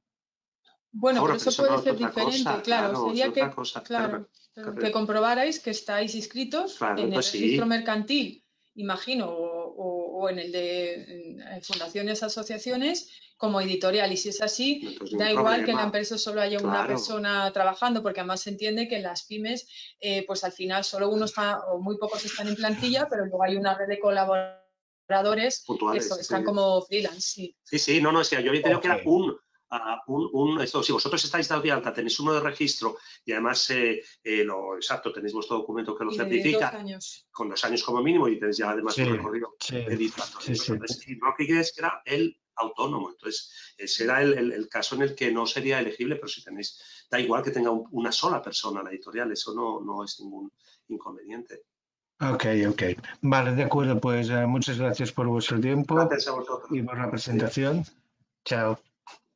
Chao. Gracias. Siguiente pregunta. Hay que leer la pregunta para que el... Lo leo yo. Disculpad porque quizá lo habéis ya comentado, pero esta línea es incompatible con otras suyas del Ministerio, por ejemplo, para los mismos libros, siempre que el total de la ayuda no supere los gastos. Eh, sí, claro. A ver, si es para traducir los mismos libros, eh, sí, eh, efectivamente. Em, de hecho, como le ha pasado a un, reciente beneficiario, pues en el momento en que solicitó las, ayudas europeas, eh, pidió una, una lista, una selección específica, pero después le confirmaron desde el Ministerio que algunos de esos títulos se los subvencionaban ellos. Entonces, como se trata de hacer la misma actividad, pues en ese caso no, lo que tienes que hacer es proponer otros títulos otros títulos nuevos, sí. Porque eso incurriría en lo que realmente es, eh, enciende todas las luces rojas, que es la doble financiación. De ninguna manera, un mismo libro en este caso, pero da igual que sea un libro, que sea ah, ah, un gasto de personal o que sea una actividad cultural, no puede ser financiado por más de una, ah, una, fuente. Entonces es ahí donde, vamos, que, que no, no, no son gastos elegibles. Lo de Zacarías, claro, pues tiene razón que deja muchos editores fuera al no aceptar los autónomos, efectivamente. Nosotros es, bueno, es una, reivindicación que tenemos desde, hace mucho Y además decimos que el, sector cultural que está no solamente en España, sino en casi toda Europa atomizado por los autónomos es realmente injusto y yo creo que, que debía haber una movilización no solamente nacional, sino eh, eh, eh, transnacional para, para hacer esa reivindicación, pero es así a día de hoy. Y me temo que en el próximo periodo va a ser igual. Jaime Romero, de Extravertida Editorial. ¿Es indispensable tener en el proyecto un premio europeo para llegar a la puntuación exigible? Mm. Ya no, ya no. Pero bueno. No, porque si os fijáis ahora solo vale, eh, solo cuenta 10 puntos. De hecho, en otros años, creo que en el anterior hubo, no sé si fue en el 17 o 18, hubo nueve proyectos seleccionados que no tenían ningún premio europeo y de hecho eh, tenían más puntuación. Eh, con lo cual hay bastantes posibilidades. Eh, no tienes, eh, claro, tantas como alguno que sí lo lleve, pero ten en cuenta que luego se valoran muchos otros, muchos otros aspectos mm. en cuanto a la calidad de la propuesta. Con lo cual, no, hay, tenemos muchos casos en los que no han incluido. Hubo tiempos más difíciles. Ahora esto realmente ya no, facilita. Y eso ha sido, mira, volviendo al tema de la movilización, ahí hubo una respuesta muy coordinada y, bueno, pues el resultado es que la puntuación ha, bajado, a pesar de la reticencia de la comisión que era reticente a, eliminar esos puntos. Otro, otro factor que también se ganó, por volver a, este tema de la guerrilla, fue que las editoriales online no lo eran, actualmente lo son. Algo tan contradictorio como el latín y el griego que hemos dicho, clásicos, pues, pues un continente como Europa eh, no fueran elegibles, pues, pues eh, efectivamente era, era, una contradicción en los términos, actualmente lo es. Y lo que sí que es verdad, que ahí también podríais intentar, junto con nosotros, imagino, dar la batalla es que solo es literatura, es decir, que la filosofía, el ensayo literario no lo es y bueno, pues también hay, hay, campo, hay campo de reivindicación. Es posible tener las transferencias, sí, las vamos a colgar. Una vez que acabemos la jornada, eh, perdón, la sesión, nosotros hacemos un enlace y toda la, grabación, los PowerPoint van a estar disponibles. Puesto que pasa. A ver, sí, dice que no le da tiempo. Bueno, el webinar va a ser el 1 de abril. Eh, pero, pero y, ahí vamos a profundizar más en temas de formularios y tal. Pero vamos, que sí, supuesto lo colgaremos en, bueno, está disponible, nuestra presentación se puede descargar ya, ya desde, desde este webinar y lo tenemos en la sección de... No, no, bueno, no pasa nada, lo vamos De todos modos, como, como he dicho, perdón, al principio, perdón por la interrupción, eh, esto responde, os digo, a una secuencia que hemos puesto para precisar, para, eh, particularmente para esta convocatoria. Las tres eh, jornadas que estaban articuladas, la de Barcelona, que fue el viernes pasado, en el caso de que os interese, ahí era desarrollo de audiencias, aparte de la presentación teórica, como la, de un caso práctico, en este caso de una editorial vinculada a, Cataluña, la de hoy y la del 1 de abril, las tres eh, van a estar disponibles. Así que para la formación o para eh, la información de los que queráis presentar una propuesta, eh, van a estar digamos, disponibles cuando, Vale, y por continuar con esta, estas preguntas, dice, ¿cuántas convocatorias salen al año? Pues solo, solo esta y el año que viene, a ver, en principio habrá otra dentro del nuevo programa, pero no sabemos cuándo se, se, publicará. Pero vamos, en principio nada saldrá en el primer trimestre del año porque mm. todavía queda aprobar el presupuesto, reglamento, definidas convocatorias y tal. Y también pregunta si se puede entrar ya en esta plataforma de participantes para entrenar la solicitud independientemente de que no la vayas a realizar. Bueno, sí, lo que puedes hacer es eh, eh, desarrollarla, descargarte los documentos, ver cómo es, incluso empezar a escribir online y luego no enviarla. ¿A qué se refiere exactamente con solicitudes de proyectos que ya están en marcha? Este ha sido uno de los puntos calientes. Es relativo a un libro en cuestión del cual se hayan firmado contratos, realizado traducciones, etcétera. En caso de los gastos ya pagados, quedarían fuera del marco de lo incentivo. Es. así. Muchas gracias, Antonio Ruiz Almirón. Claro, por ejemplo, se puede dar el caso de que tú ya hayas, tengas ya el, acuerdo con el traductor y este haya empezado ya a traducir, pero todavía no te ha hecho la entrega, con lo cual todavía no le has pagado, pues hombre, ahí siempre se puede buscar la fórmula y decir, mira, pues espérate, mm. me haces la entrega, pásame la factura con, fecha. Eh, posterior a, a, esta, a este calendario que tenemos y así puede ser elegible. A la mala, otra opción que tienes es que, vale, esa adopción de ese libro en concreto, porque tened en cuenta que no es para un solo título, es mínimo tres, mm. dices, vale, pues esa factura no entra, es de esa traducción de ese libro, pero sí todas las demás. Y de ese libro que ya está traducido, lo que sí te pueden admitir es el resto, los gastos de edición, promoción, etcétera. Mm.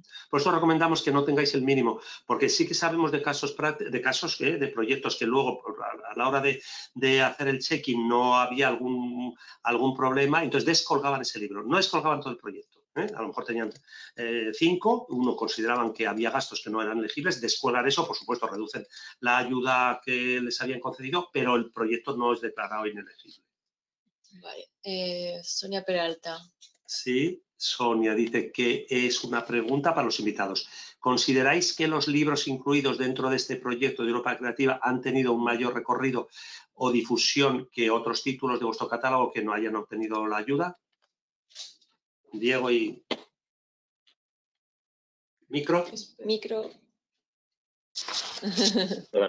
en mi caso, los dos infantiles, por ejemplo, eh, tuvieron un recorrido buenísimo. Eh, ¿Por qué? Bueno, aparte de la calidad de los libros, tiene mucho que ver la, la, mayor capacidad económica para poder hacer promoción que tuvimos en este caso. Entonces, eh, una parte además te sirve, como decía antes, para pagar a los traductores de manera excepcionalmente buena, eso también eh, contribuye a tener eh, este equipo de traductores que tienes habitualmente, pues obviamente más, más contentos porque, porque cobran más, pero sobre todo porque en, en estos casos nos permitió hacer un trabajo, como digo, promocional mucho mayor, de manera que sí, ayuda. Claro.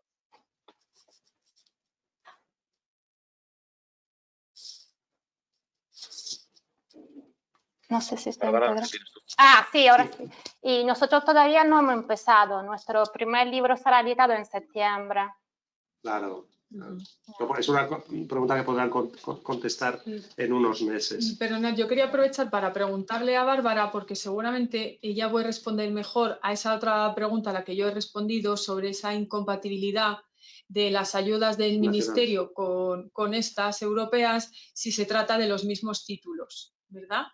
Eh, nosotros al final sí decidimos cambiar los dos títulos y bueno, lo, argumentamos y sí se nos dio esa posibilidad. Además con el, dos títulos que siempre de un libro italiano, otro cómic italiano y también del mismo, el otro libro también era del mismo idioma y mantenimos también, hemos mantenido el mismo traductor también. Porque una pregunta, ¿qué porcentaje de financiación nos cubrían las ayudas del ministerio? Mm, la verdad es que no. Pero no, no, eran del 100%, no, no. Vale, gracias. Zacarías, de nuevo, eh, ¿podrían ser libros todos de un mismo país? No, porque no habría dimensión transnacional, claro. que es un requisito fundamental. Mm. Y vamos a la última pregunta de María, que nos ha levantado la manita. A ver si. A ver. María. Eh, hola, yo quería preguntar, soy María de Basorroto, quería preguntar si en, en Europa se ha dado el caso de la presentación de un proyecto que fuese aprobado y que luego se quisiese ampliar a otros países y presentarlo como una segunda vez, como una ampliación. La- la- el lanzamiento de las de propuestas eh, em, eh, eh, que han tenido, digamos, un previo es, es posible. Eh, nosotros recomendamos siempre, en los casos de cooperación y que es aplicable a los casos de traducción, que incorporéis, el caso de cooperación, que incorporen a nuevos socios, en el caso de traducción, entiendo que incorporen a nuevos autores y siempre, además, nos lo van a pedir en el formulario, por lo menos en los anteriores, este le conozco menos, a- explicándolo claramente, que habéis tenido un proyecto que ha sido aprobado, que habéis tenido un proyecto que ha funcionado bien, pero que decidís darle un horizonte nuevo. Y ese horizonte nuevo lo vais a manifestar a través de nuevos títulos, de nuevos traductores, y es decir, que la réplica del mismo proyecto no, porque ya tiene, digamos, una, una, una financiación ad hoc para ese, para ese proyecto. Pero en una segunda parte eh, que ha tenido, digamos, una génesis o un origen o un embrión en un anterior, claro que sí, sí, sí. Y además lo piden, ¿eh? vamos, que a la hora de, de rellenar el formulario te van a decir si has tenido una, una ayuda comunitaria, una ayuda del programa y tienes que poner el número de acuerdo, el número de la, del, del, del Grant Agreement y ahí eh, podéis explicar cómo los que han sido rechazados, también lo decimos siempre, han sido procesos que han, ha habido muchos proyectos que se, que se han relanzado, lo que decía Bárbara, os mandan una, este eh, informe de evaluación donde os hacen una serie de, de comentarios y, bueno, pues decís que efectivamente ha sido rechazado y que asumís todos los comentarios del evaluador y que le dais, lógicamente, una, una, un- una, una dimensión novedosa, pero claro que Sí, puede. y solo añadir una cosa, porque aunque sean los mismos títulos originales, pero si tú los vas a traducir a nuevas lenguas, eh, justificas Claro. que estás contribuyendo a ampliar esa diversidad eh, literaria y ese nuevo detalle. acceso a nuevos públicos. Ok, gracias. Gracias. Yo Nada tengo una- hola. Ah, Vale. Sí, Sí, la propia Bárbara. Sí. Yo quería hacer una pregunta a Diego. Creo que ha hablado que ha, que ha, que ha ido a la FEA de Chile. Y en este caso, en el presupuesto, ¿qué porcentaje lo imputa? ¿El 100% o...? Pues no recuerdo, la verdad, que hace, hace dos años tendría que mirar. Ah, si quieres, te, lo- te puedo responder, lo, lo miro en el, en el presupuesto que presenté y te digo cuánto imputamos. Sé que, sé que al final hicimos eso, de, de las, varias- de las ferias que presentamos, que íbamos a ir en América Latina, eh, cambiamos una por otra y una fuera de Chile, pero no recuerdo cuánto era, la verdad, te lo, te lo puedo mirar después.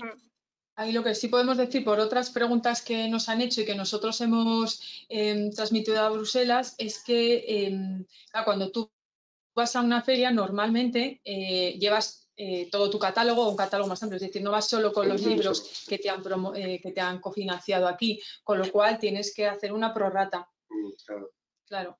Claro. No, puedes lo que pasa es que hay veces que presentas, que presentas en la feria el libro. Eso es, es imputarla a la parte que corresponde a los libros que han sido seleccionados. Y ellos lo van a ver. En todas estas cosas, y, y- y no solamente en el caso de la, de la editorial, tenemos casos muy, muy relevantes para evitar precisamente lo de la doble financiación. Hay proyectos que han tenido una financiación eh, por una, digamos, por una, por una línea y que presentan a, otra, a, otra, a otra línea del programa. Entonces ellos ven que hay una especie como de, de overlapping entonces no lo rechazan, pero quitan la parte que ya está financiada.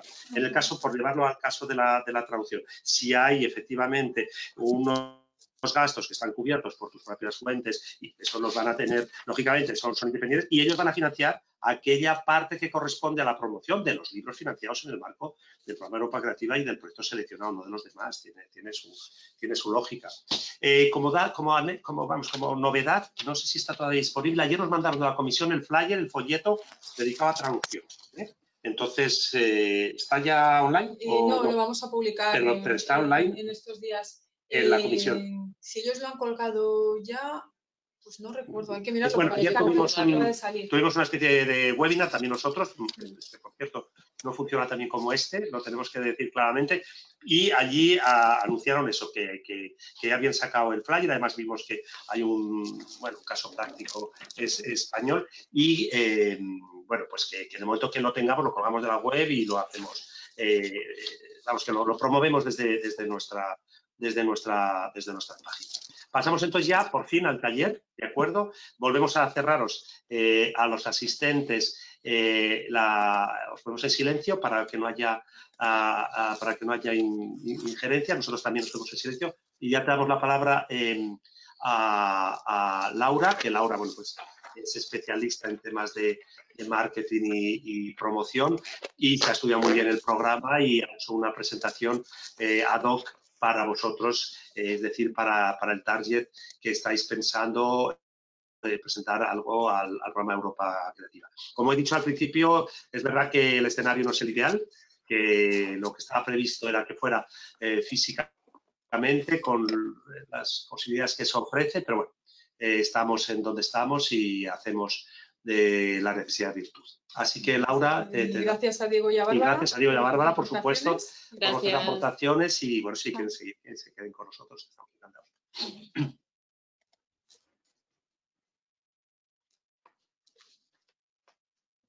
Buenos días. Hola, buenos días. ¿Te escuchamos? Sí, te escuchamos, sí, sí. Bueno, fenomenal. Eh, bueno, pues ante todo, muchísimas gracias a, a Europa Creativa por, querer contar conmigo. la situación efectivamente es un poquito más bizarra, pero no por ello vamos a, a, dejar de, intentar daros todo lo posible. Yo deciros que gano mucho más en persona y que es muy difícil eh, plantear un taller que tenía pues, pues una parte mm, mucho más teórica pequeñita y yo os iba a poner a trabajar bastante más duro en un taller un poco más práctico, pero, pero bueno, mm, lo vamos a conseguir y, yo creo que, bueno, la idea es que, es que podáis salir por lo menos con lo que espero eh, sean unas, unas claves y unas cuantas herramientas, etcétera. Y, al no tener el taller, eh, porque puede ser un poco difícil hacerlo con 24 personas, em, el práctico, pues creo que podemos dejar un poco más de espacio para que yo dentro de mis posibilidades eh, os pueda contestar a todas las dudas. Eh, tenía una presentación preparada que os voy a mostrar y yo voy a seguir como si estuviéramos aquí todos viéndonos la cara y voy a seguir con lo que tenía planteado hasta que llegue al taller práctico que haremos pues, de otra manera. Eh, no sé si veis todos mi pantalla. Espero que sí. bueno, una breve introducción sobre quién soy yo. Eh, me llamo Laura Ceballos y llevo más de 20 años trabajando en el ámbito de la comunicación, el marketing, los contenidos y por consecuencia la innovación, porque no queda más remedio. Eh, y he trabajado mucho el terreno estratégico y operacional en distintos campos y sectores de entretenimiento, de bienes de consumo nacionales e internacionales y en entidades sin ánimo de lucro He trabajado y he tenido la fortuna de, trabajar en Gran Bretaña, Latinoamérica y en España en empresas pues, relacionadas con, la música, eh, básicamente con la magia del tiempo libre de las personas, entre las que se encuentra la lectura. Em, una de las cosas que quería probar, y lo voy a intentar, y tengo aquí al técnico para que si no sale bien me avise, entonces lo paro, eh, es poneros un vídeo, que en realidad era lo que se llama en inglés un icebreaker, porque cuando uno empieza una charla pues, eh, y tiene a la gente delante, a veces está bien hacer este pequeño corte y, os lo voy a intentar poner y, espero que me avise si no funciona. ¿Vale?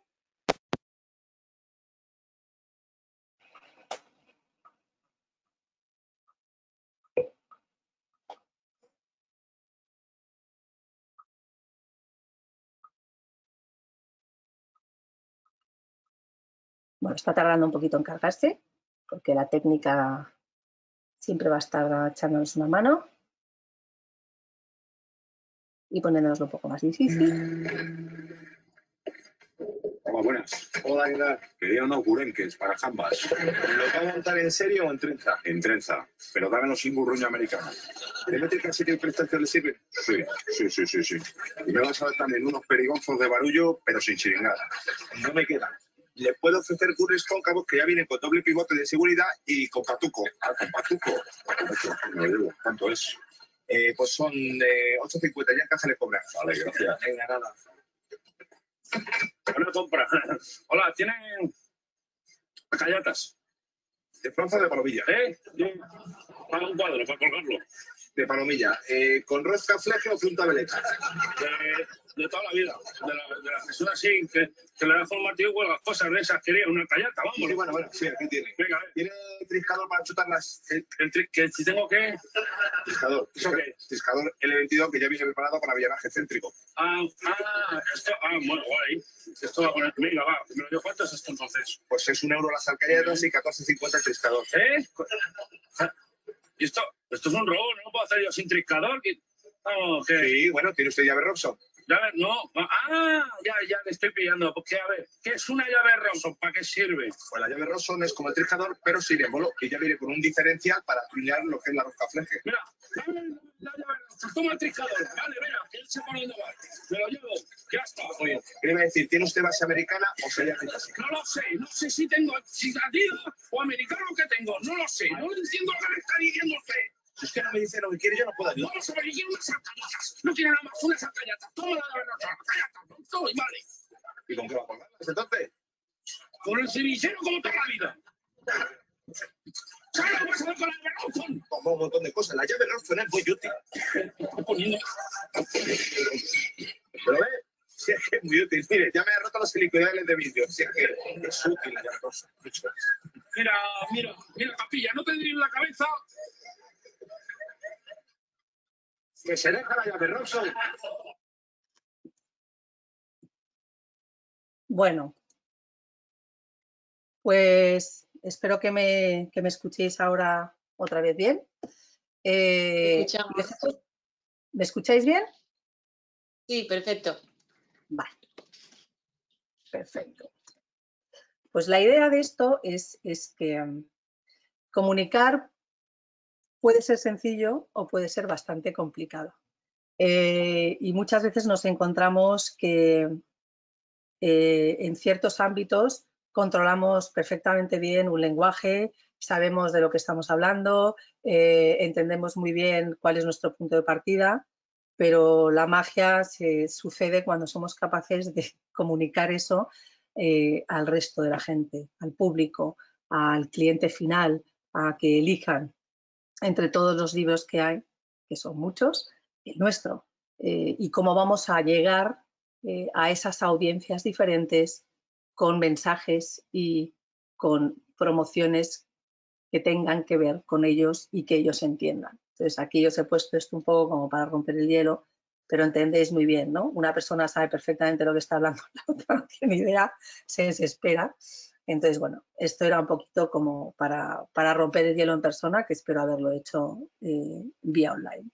Em, los objetivos que, que me pasaron y, y que pedí eh, eh, que, me, explicaran bien para poder ponerme en vuestra piel, porque verdaderamente eh, me parece que es un, una, una, propuesta increíble estas ayudas, pero claro, detrás de ello también va mucho trabajo, era entender un poco en qué situación os ibais a encontrar vosotros, ¿no? Ya veo, ya vi, me mandaron todo que tenéis que entregar, cómo tenéis que hacerlo, etcétera. Entonces, bueno, es centrar mucho o intentar centrar mucho este, este pequeño taller en, en los, los, objetivos principales que ya hemos revisado en las primeras presentaciones, ¿no? que es la diversidad cultural y lingüística, la circulación transaccional, eh, mejorar el acceso de, en la Unión Europea, fuera de ella y llegar a nuevos públicos. Y el objetivo de este taller en concreto es que yo intente daros herramientas para poder preparar la mejor propuesta de comunicación y promoción para vuestros proyectos y que obtengáis las ayudas eh, bajo los siguientes parámetros, que es, que es eh, un poco lo que, lo que me habían pedido, ¿no? que es explicar cómo las actividades promocionales estarán diseñadas de acuerdo con las especificidades de cada libro y cómo contribuirán a conseguir nuevos públicos para la literatura traducida europea. Y cómo esta estrategia contribuirá a la visibilidad de los traductores y a los premios como no tengo nada de presión y ahora hay 25 puntos para promoción, pues eh, vamos a entrar un poquito en materia. Y, aquí, bueno, también lo, que, lo que habéis visto anteriormente, que han explicado fantásticamente bien, em, es un poco, pues eso, definir los objetivos de venta, los targets grupos, los usos de nuevas tecnologías y, la elección de herramientas. Em, yo siempre intento, eh, a la hora de hacer una propuesta, eh, cuando me tengo que plantear unos objetivos, eh, y es algo muy sencillo, pero verdaderamente ayuda mucho a, ser muy, muy preciso en lo que uno está presentando, sobre todo si, tiene que hacer eh, un proyecto de, entre tres y diez libros, es que los objetivos los enmarquéis dentro de lo que llamamos una fórmula SMART, que esto es bastante marketingiano, que es que ser muy específico, que tengáis algo donde podáis medir, ¿no? que luego podáis ser capaces de tener eh, una idea, ¿no? Como contaba Diego, pues en infantil y, juvenil pues nos ha ido fenomenal el proyecto, en otros hemos tenido nuestra victoria, pero que seáis capaces luego de medir lo que hacéis, porque si no, eh, hoy en día es un poco como matar pájaros a cañonazos, que sea alcanzable, está muy bien soñar, pero bueno, siempre con los pies un poco en la tierra, que sea relevante, y esto tiene muchísimo que ver con, con yo creo, un poco la parte, lo que es el core de este proyecto, ¿no? Relevante, coherente, que tenga un hilo conductor, que sepáis que puede ser algo que, a la hora de, estudiar vuestra candidatura eh, eh, pueda tener mucho más, mucho más alcance y luego el tiempo, ¿no? Que aquí, bueno, eh, está, esta es una situación a la que no, no, he hecho frente yo tanto porque no, no me he tenido que presentar a este tipo de ayudas, pero sí es verdad que uno tiene que trabajar a veces con uno o dos años por delante entonces tiene que ser muy preciso y a la vez muy flexible, que son dos cosas que en comunicación y promoción recomiendo que cualquier persona eh, tenga, tenga, siempre muy claras. Em, aquí hay una distinción muy importante que, bueno, como no sabía muy bien tampoco el tipo de asistentes, así quería ser un poco en el medio para, poder tener las bases ¿no? importantes. Eh, y hay una cosa que es, muy definitoria, ¿no? la parte de marketing, que es una herramienta por lo que pagas, eh, que puede ser desde el trade marketing en las librerías, eh, punto de venta, etcétera, hasta todo lo que es campañas online, inversiones en cualquier tipo de red social, em, y, ese tipo de gastos. Y luego la promoción y relaciones públicas, que son herramientas por las que no pagas, pero si esperas obtener difusión. ¿vale? Importante, no las pagas, pero sí debes invertir en ellas. Voy a poner ejemplos. Cuando tenemos que hacer un envío de libros eh, para reseñas, para periodistas, para eso, eso es una inversión eh, que se realiza desde el Departamento de, Promoción eh, y Relaciones Públicas o los jefes de prensa, con lo cual no se tiene que pagar, pero sí tiene una inversión, ¿vale? Yo creo que ambos y la combinación de ambos son imprescindibles para, promocionar un libro a clientes potenciales y en cualquier caso cualquier tipo de producto. Es muy raro poder ir solo con una cosa y no ir con la otra. Hay casos, pero no suele ser lo, más habitual. Em, Aquí en la estrategia la parte más importante de cualquier plan de comunicación y promoción es la estrategia, es un poco recuperando eh, eh, palabras que, han explicado al comienzo, ¿no? cuando estaban hablando un poco de, los requisitos y las claves, está el qué y está el cómo. ¿no?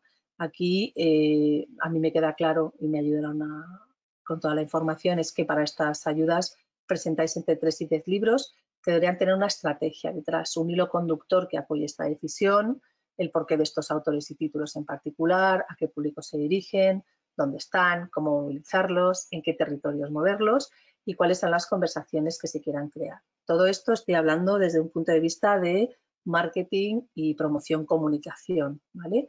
Em, pensar en estos términos nos puede ayudar mucho a, a qué herramientas necesitamos para articular el proyecto eh, y que el plan de comunicación y promoción sea más, más eficiente y más innovador. Em, lo que he hecho es poneros un poquito como, bueno, los puntos que hasta ahora nosotros, yo con mi equipo, hemos estado manejando a la hora de plantear una estrategia para el posicionamiento. Mm, ni cabe mencionar de nuevo que, como decían también al, principio de la charla y han mencionado también tanto Diego como, como Bárbara, la coherencia tiene que ir alineada y la estrategia tiene que ir alineada con la coherencia de la propia editorial. O sea, será una selección de títulos que, tengan y que resuenen un poco con, el, alma y el espíritu de lo que vosotros representáis. Em, yo he, dividido un poco para el posicionamiento y, para alinear la estrategia eh, en un plan de acción que irá un poquito más, más adelante, eh, alrededor de, varias cosas que, hoy en día desde el marketing y la, comunicación y la promoción utilizamos muchísimo. Eh, una es el autor y el título, con un hilo conductor y unas temáticas, o sea, hacia dónde vamos. Eh, otra cosa que llamamos muchísimo eh, y, usamos muchísimo es el territorio y la conversación. por supuesto, el público, las audiencias, el target. Luego tenemos los básicos de comunicación, que me imagino que muchos estaréis familiarizados, pero no vamos a dejar de tocarlos por si acaso. Y luego todas las partes de innovación. Aquí veréis que en la propia presentación vienen algunas cosas, pero yo trataré de extenderme un poco con algunos ejemplos y cosas que ya hemos, hemos vivido nosotros en propia piel. ¿vale? Em, con el autor y el título, eh, y en este caso también, por supuesto, con el traductor, eh, definir un poco el posicionamiento del autor y los valores que representa. ¿no? Em, Aquí la idea que, habéis visto en, los dos ejemplos que os han puesto está muy claro, ¿no? Uno, son unos autores de un tipo de literatura, de un territorio eh, geográfico eh, que representa pues, la sencillez, eh, la austeridad, pero con una calidad excepcional. En el caso de Bárbara tenemos la parte de cómic, gráfica, ¿sabes? enfocado hacia ese tipo de público y que, y que qué valores y qué, qué posicionamiento tienen esos autores y, qué representan. El hilo conductor de la propuesta de los libros. Yo he puesto un ejemplo que eh, se me ocurrió un poco, que era eh, la, juventud en Europa, ¿no? Eh, no sé qué libros puede haber, me imagino que habrá infinitos que puedan tratar sobre valores, creencias y vivencias que pueden ir vinculadas desde la parte del cómic hasta la parte de la música, hasta la parte de, cómo se van a formar o qué, vidas pretenden tener, hasta eh, eh, qué necesidades van a querer cubrir ellos que no tienen absolutamente nada que ver con las que tenemos eh, otras generaciones. Y un poco utilizar ese, ese, bloque que elegís como el lugar donde vais a estar empezando a crear esa estrategia que también tiene que ver, bebe y respira de la estrategia de vuestra propia editorial. Con la elección de títulos, eh, pues está un ejemplo, la, ayuda a crear conciencia sobre las necesidades y los años de una generación, los puntos en común independientemente del país y la cultura y el impacto social, económico y vital que podían tener en Europa. ¿no? Este era un poco, viendo lo que me habían mandado, que teníais un poco que ir completando vosotros, pues era una de las ideas que, a mí me había surgido a la hora de, tener pues eso, un autor y un título eh, expuesto es proceso para este tipo de proyecto. En, territorio y conversación, cuando nos movemos en, sobre todo eh, en la parte de eh, redes sociales eh, y el universo online, nosotros a lo largo de estos dos últimos años y pico hemos estado explorando muchísimo buscar territorios y conversaciones. creemos que es súper importante, incluso antes de elegir vuestros proyectos o vuestros autores, eh, saber un poco en qué territorio y conversación se encuentran dentro del mundo online. Em, luego tenéis al final de la presentación una cantidad de herramientas que os pueden ayudar, pero desde rastrear las propias webs con Google, que también te pueden dar un montón de, un montón de información en la sección de noticias, en la sección de YouTube, en, todos sus, sus ámbitos. Tenéis también toda la parte de las redes sociales, eh, empezar a trabajar con algunos hashtags que queráis empezar a, adoptar dentro de este territorio de conversación, buscar artículos, vídeos, noticias relacionadas. Eh, si tenéis una pequeña base de datos, una encuesta de lectores que también os puede ir dando eh, una idea de ese territorio. podemos poner un ejemplo ahora mismo muy sencillo de interpretar, que es el feminismo. ¿no? Dentro del feminismo tenemos varios territorios y varias conversaciones, dónde vamos a querer estar, en cuál nos queremos colocar, de cuál vamos a estar nutriéndonos. Eso sería, por ejemplo, una manera de, explicaros ¿no? el territorio y conversación en el mundo online. Em, otra cosa que hacemos muy al comienzo también em, es una encuesta con el autor y en este caso con, los traductores que trabajéis también, eh, porque muchas veces eh, lo que nos hemos encontrado es que trabajamos el libro, estamos con el libro, nos enfocamos en el libro, en ese libro, y resulta que tenemos un autor que nos puede ayudar mucho eh, en toda esa búsqueda de territorio y conversación. Em, y normalmente les hacemos una encuesta para saber pues, si tienen una web, si tienen un blog, que muchas veces lo descubrimos a posteriori, aunque no tenga nada que ver, puede ser un autor ya algún tipo de novela y luego tenga un blog de ciencia ficción. Ahí hay maneras en las que luego podremos conectar, qué redes sociales tiene, cuántos seguidores tiene esas redes sociales, a quién sigue él y sobre todo a quién le sigue, ¿no? qué personas le siguen a él para poder también terminar de crear ese territorio de conversación. Si escribe artículos o colabora con otros medios, qué vínculos o causas de organizaciones también tiene. Nos podemos encontrar eh, autores que de repente son muy activos con algún tipo de ONG, etcétera. Todo eso nos va a ir ayudando a ir construyendo un poco como este territorio de conversación y luego que otros autores en su territorio agentes, músicos, actores, periodistas nos pueden ayudar mucho. Eh, aquí tenéis un par de links que os he puesto eh, Mention es una herramienta muy buena que también te ayuda a ver cómo está posicionada, ya sea la temática, tu territorio, el nombre de tu propia editorial, el nombre de tu autor, etcétera, que te va a ayudar mucho a ver em, dónde puedes estar, cómo te ven, cómo estás ahí fuera. Una cosa es lo que nosotros sabemos, otra cosa es cuando, cuando hacemos el, el trabajo espejo para ver verdaderamente hacia dónde reflejamos y qué es lo que se ve en nosotros. También tenéis otro, otro, otro link con un Media Tooltip que creo que os puede ayudar bastante, donde también tenéis un montón de información relevante a redes sociales, a los tipos de canales que hay y a otras maneras de tener métricas y de poder estudiar un poco eh, cómo estáis posicionados, cómo puede estar posicionado ese autor, cómo puede estar posicionado eh, ese hilo conductor, esa temática, etcétera. Em, luego tenemos una parte importantísima que vendría a decir que es un poco como el santo grial, y ahí Diego también lo, ha comentado bastante bien, eh, que, es, que es el público, las audiencias el target.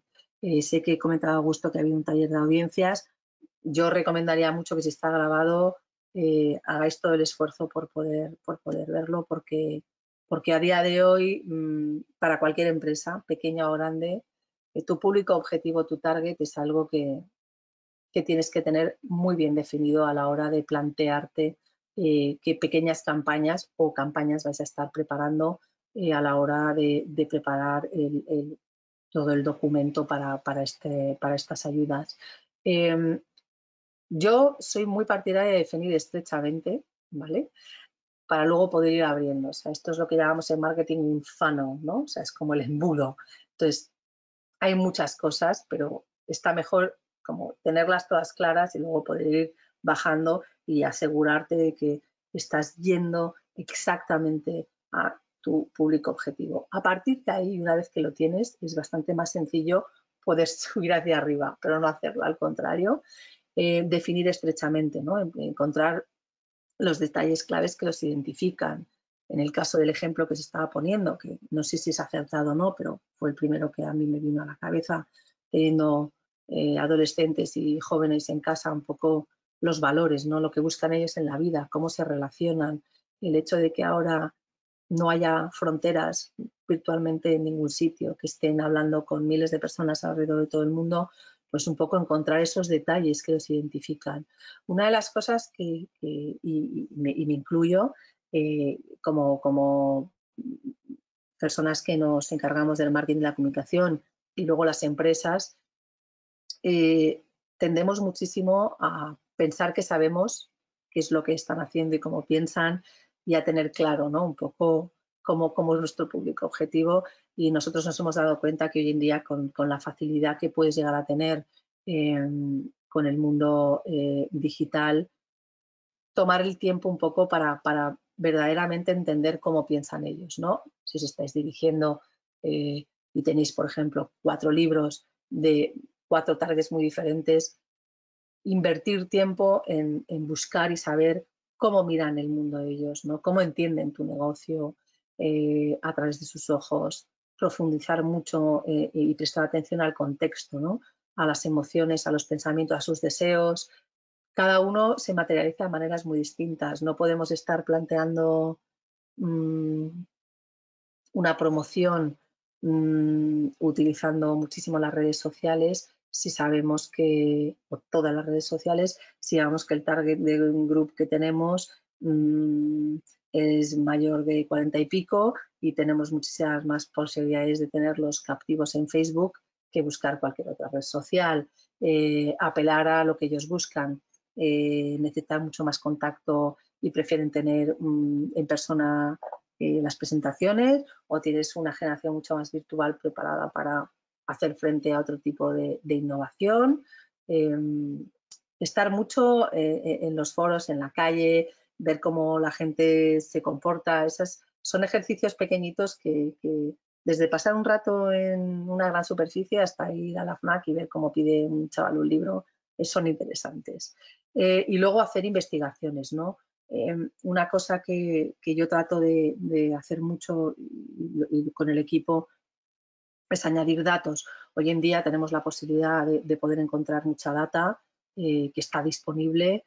Entonces ahí cualquier cosa que vayáis a plantear en estrategia, si la podéis acompañar de datos eh, con fuentes relativas, fiables que podéis encontrar, eh, yo creo que, es algo que, que deberíais considerar para poder acertar muchísimo más en públicos, audiencias y targets. tenéis eh, os he añadido también al final de la presentación el último estudio de las redes sociales en España. Es alucinante, la penetración, la cantidad de usuarios, las horas que pasan al día, etcétera. Entonces ahí tenéis muchos datos que os pueden ayudar también a la hora de preparar esta propuesta, eh, donde añadís, por ejemplo, eh, una cosa en particular y vais a poder darle mucho más peso cuando añadáis los datos, ¿no? De por qué habéis elegido en particular hacerlo de esta manera.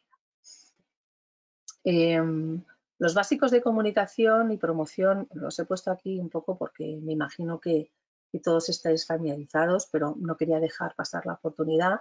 Eh, nosotros normalmente, y volviendo un poco a, Diego, que ya ha vivido esta, em, este viaje y esta aventura, eh, la parte importante para nosotros siempre es el calendario. Eh, nosotros siempre nos hemos referido a los calendarios en forma de retro timing, o sea, elegimos una fecha y luego vamos hacia atrás y tratamos de ir cumpliendo con todo lo que tendría que haber eh, y siempre trabajamos con, fases, porque si no es un poco complicado. Tenemos la fase de prelanzamiento, aquí lo que llamamos la prepo, pues tener muy claro el presupuesto con el que contáis para preparar la campaña y aquí tener en cuenta si vais a tener mm, esta ayuda, y de esos 80.000, eh, 30.000 se van a traductores, eh, tantos mil se van a algún tipo de producción especial o de que el libro sea mm, tapadura con un golpe seco, no sé, y con, oro. Eh, ¿Cuántos va a quedar para hacer la promoción eh, y el marketing? Entonces, con eso, luego tener claro qué vais a dividir. Una cosa es el marketing, que es algo más fácil, porque tenéis unos precios y son los que cuestan. Quiero hacer una campaña en Facebook donde mm, tengo mm, una selección y digo quiero ámbito mm, cuatro comunidades autónomas con público que va de los 25 a los 35, que así ya sabéis que podéis llegar hasta, hasta el mínimo absolutamente todo marcado y ahí vais a poder saber que tenéis campañas con unos precios que van a ser los que son. Otra cosa es el paquete que vais a preparar para la promoción eh, o las relaciones públicas, que puede diferir un poco. Ahí siempre nosotros nos guardamos un poco como una bolsa de, mm, por si acaso, que son pues toda la parte de viajes, ferias, etcétera, que uno de repente pues se puede encontrar que, no tiene eh, esa previsión de gastos y es importante tenerla. Eh, luego tener en el prelanzamiento, saber muy bien quiénes son nuestros partners naturales, qué medios son los más afines, porque ya tenemos la audiencia y el target bien definidos, qué bloggers eh, son con los que nos gustaría contar, qué agentes o canales de venta, importantísimo también, si es un libro de cómic, a quién me voy a ir, si es un libro más de poesía, qué otros canales voy a usar, si puedo utilizar canales que me puedan ayudar a mejorar eh, eh, y a dar más difusión, tenerlos en cuenta, cómo nos puede ayudar el autor, o sea, esto tenerlo ya claro en el prelanzamiento y en este caso también el traductor, y qué storytelling queremos que sepan y cómo lo vamos a contar. O sea, eh, si es la propuesta de Diego, es nórdica presenta autores de los países escandinavos, la sencillez, la austeridad, literatura impecable para todas las edades, un pequeño storytelling que te va a ayudar a poder estar trasladando ese mensaje y luego poder ir adaptándolo según tus necesidades, ya sea para redes sociales, para una nota de prensa, para una web, para una presentación, para mm, ayudar al periodista a encontrar mm, otra idea, si es un libro que no que puede acompañar con otras cosas como puede ser una infografía, un pequeño vídeo, todo este storytelling sería ideal que fuera acompañando siempre a toda, a toda la campaña. Luego tenemos lo que llamamos el lanzamiento, que normalmente viene acompañado pues, de una nota de prensa, em, un branded content, algún vídeo, muchos vídeos, un trailer, presentación, entrevistas, newsletter, web, o sea, todo lo que un poco tiene que ir eh, eh, apoyando a, la salida de, los libros. Y luego una cosa que es bastante difícil, pero que también es muy necesaria y, que, y de la que surgen muchas sorpresas, que es el mantenimiento, ¿no? Tener esa previsión eh, de, inversión también qué mantenimiento nos gustaría hacer, ¿no? promociones posteriores, clubes de lectura, acuerdos con, canales, con, otras ferias, etc. En innovación podría haber metido como 20 diapositivas, pero, me parecía que de momento podemos, podemos ir, perdonar, ¿eh? perdonar.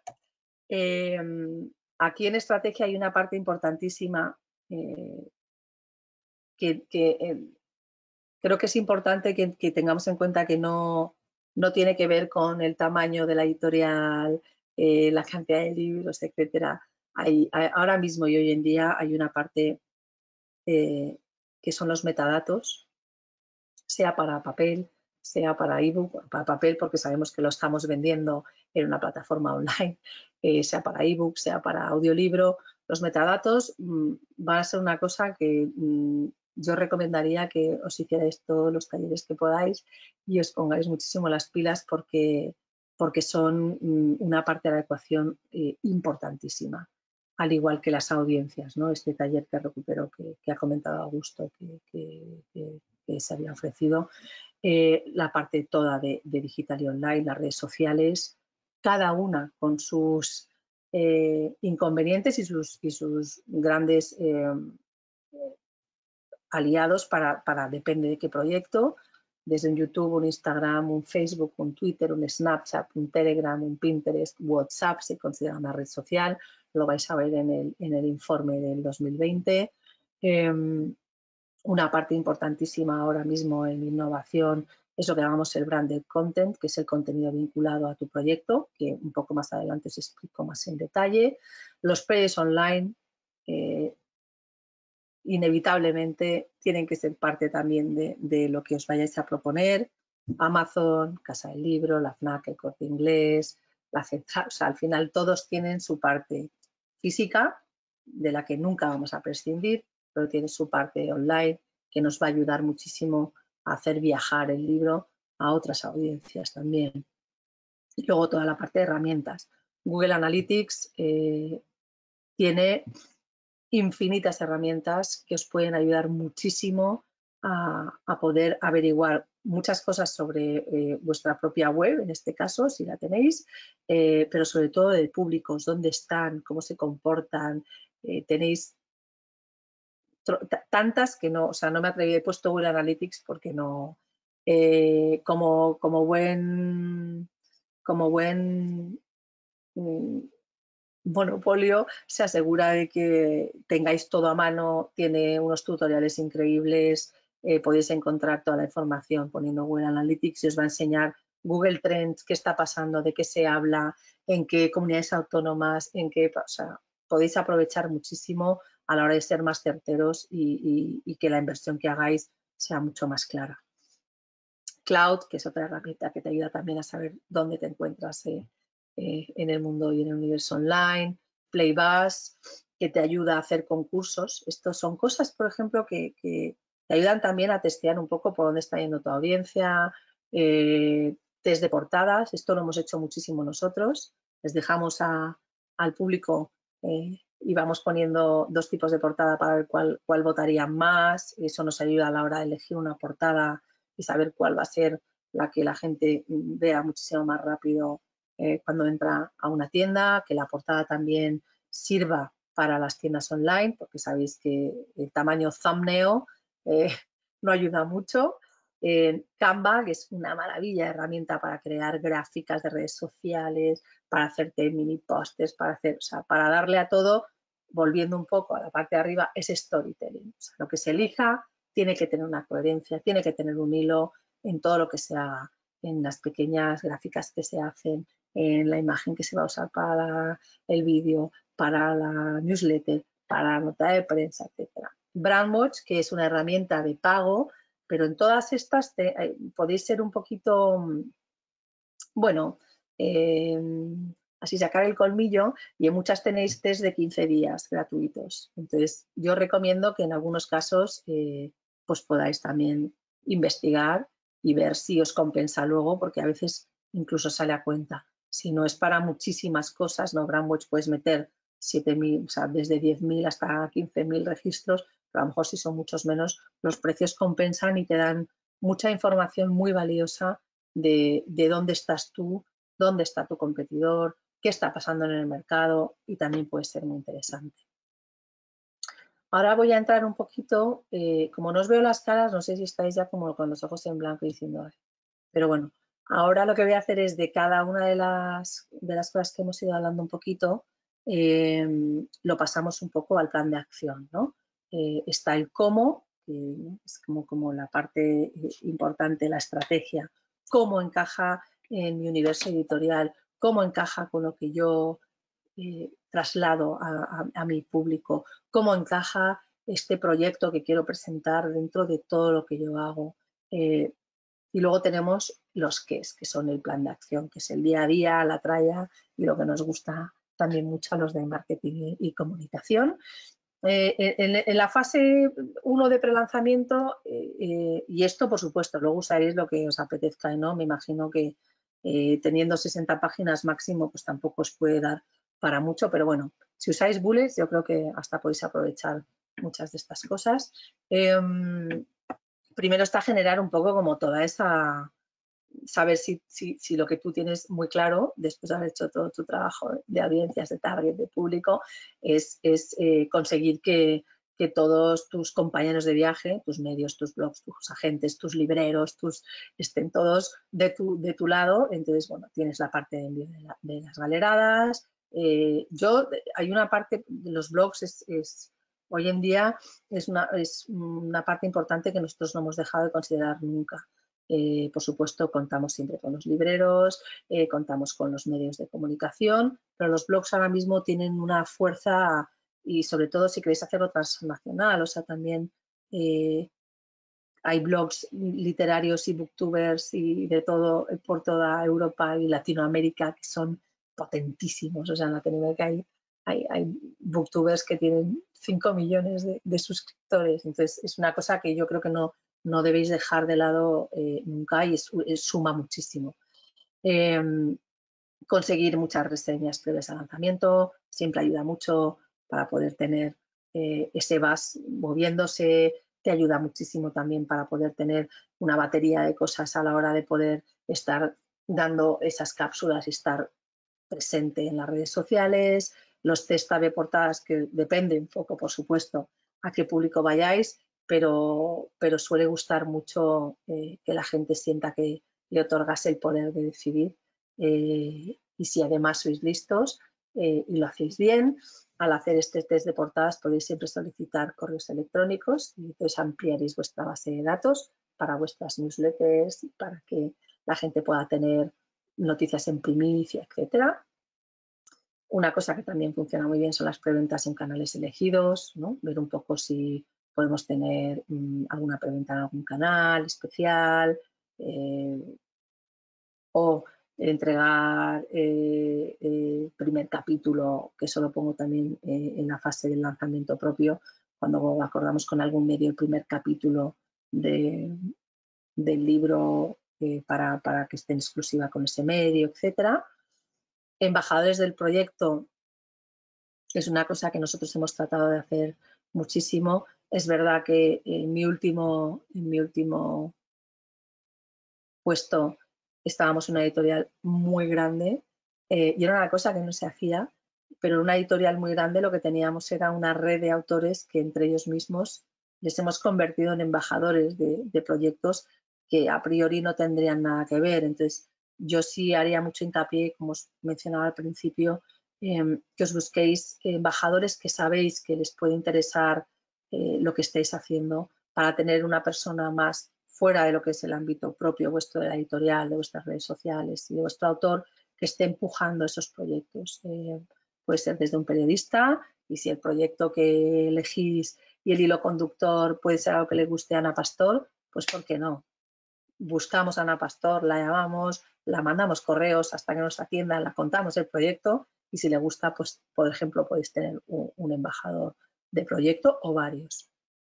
Em, un calendario de redes sociales y acciones en todos los canales para el calentamiento.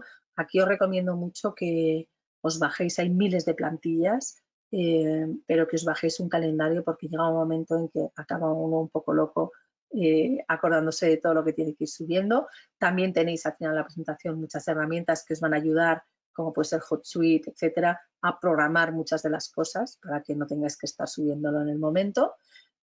Pero recordando siempre que las redes sociales eh, lo que os van a dar es una cosa que es la inmediatez, con lo cual, aunque tengáis muchas cosas programadas, si suceden otra cantidad de cosas muy importantes que pueden relacionarse con el proyecto, no dejéis de pasar la oportunidad. Y aquí es donde viene lo que llamamos orgánico. Eh, una cosa es el posicionamiento que llega porque lo pagas y otro es el posicionamiento porque sale un artículo que tiene que ver totalmente con eh, la Europa para la juventud del tal y se ha hecho un, artículo súper en profundidad eh, que casa perfectamente con tu hilo conductor. Tienes que asegurarte de estar al día, tener tus alertas puestas con jóvenes de Europa, etcétera, para estar haciendo también todo lo que puedas de retroalimentación con todo lo que sea orgánico.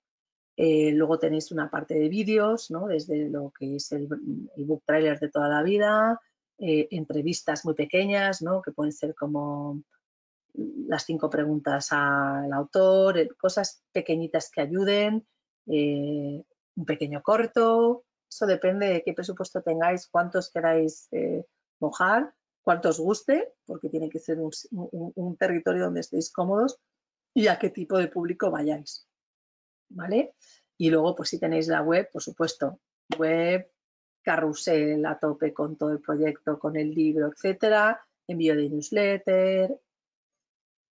Y luego, por supuesto, toda la parte que tendréis que hacer, que nosotros desde donde estábamos lo denominábamos más ventas, que es tener a la red comercial totalmente enganchada con, estos libros que presentéis. Si sois vosotros mismos, pues os quitáis el gorro de marketing, os ponéis el gorro de ventas y os ponéis súper a tope con esto que habéis elegido eh, y vais eh, eh, a, vuestra propia red comercial a salir ahí a venderlos, que también es, sabéis, tremendamente importante. aquí os mencionaba ¿no? el primer capítulo sin coste en algún medio. Estas cosas suelen funcionar bien cuando es un libro interesante o, es un proyecto bonito que, Y aquí hago un parón y, os saco de la zona de confort. Cuando digo algún medio, digo cualquier medio. Cuando pensamos en medios, pensamos en periódico, revista. Si elegimos un proyecto un poco minoritario, un proyecto un poco más eh, fuera de un territorio mucho más grande, eh, un medio puede ser que si elegís un cómic y, va todo con un conductor de cómic, pues os vayáis a Javier Gallego y le digáis que en carne cruda en el podcast os haga una entrevista y hable del libro y, lea el primer capítulo, no lo sé. O sea, tenéis que estar pensando mucho fuera, fuera de, de lo que es el ámbito habitual en este sentido. Otra parte muy importante son las marcas y organizaciones con las que podemos colaborar desde el, comienzo del proyecto para amplificar la audiencia. Em, aquí nosotros nos hemos encontrado en situaciones muy curiosas donde por invertir tiempo, ir tocando muchas puertas, pues hemos tenido muy gratas sorpresas. Eh, desde contar con las embajadas, los consulados, eh, si ese país que habéis elegido o esos países que habéis elegido tienen cualquier tipo de proyecto de incentivación cultural, ir a buscarlos, si los proyectos van a tener que ver con mm, cambio climático, sostenibilidad, etcétera, ir a buscar quién puede ayudaros. No os quedéis en lo pequeño, o sea, si hay que ir a Acciona, pero tiene una parte importantísima de eh, mujeres a las que manda a la Antártica a hacer estudios, pues y vuestros libros van a ir de algo relacionado, buscad, buscad siempre cómo podéis eh, tener estos partners que os pueden ayudar muchísimo con, el crecimiento de la audiencia, la difusión. Pueden ser también partners pequeños, pero que si tenemos varios, funcionan igual de bien. Volvemos otra vez a los keywords, a los metadatos y a los hashtags. Eh, keywords deberíais meter en las notas de prensa, tener claras vuestras cinco o seis que queréis que estén repetidas que salgan. En metadatos ya sabéis que cuando eh, se mete un libro en Amazon eh, o viaja a través de Dilbert tiene que ir metido toda la parte de metadatos, aseguraros un poco que, tenéis claro qué metadatos vais a querer utilizar. Y luego si tenéis claros los hashtags, pues es algo que os puede acompañar durante toda la campaña y a la hora de medir eh, vais a poder tener muy claro ese hashtag que creasteis, cómo ha viajado y cuánto, cuánto ha, ayudado y cuánto se ha mantenido en el tiempo. En la frase de prelanzamiento también en qué festivales, certámenes y ferias queremos estar. Os he incluido al final también de la presentación una rueda que me hice yo un poco porque hay tantas cosas. Esta es de España solo, eh, pero bueno, en Latinoamérica mm, podéis encontrar en, la Federación del Gremio de Editores, en la web, Tenéis ahí también una sección donde aparecen todas las ferias eh, en Latinoamérica y en Europa. Pero bueno, os he metido un poco todas las de España como para que podáis tenerlo claro y sepáis un poquito qué hay en el 2020, que se suele repetir en el 2021, Dios mediante, y si podemos seguir todos eh, trabajando un poco más normal que aquí desde casa. Em, en la fase 2 del lanzamiento, em, eh, bueno, la nota de prensa que, normalmente si tenemos cosas que contar, esto era, era un argumento que, teníamos mucho en el departamento, ¿no? Había el comunicado de prensa y la nota de prensa. Entonces ahí había bastante pelea. Em, muchas veces mandábamos un comunicado de prensa antes para contar un poco eh, de qué iba la historia, ver un poco el feedback que podíamos tener. Eh, y dependiendo de, ello podíamos mandar una nota de prensa o no.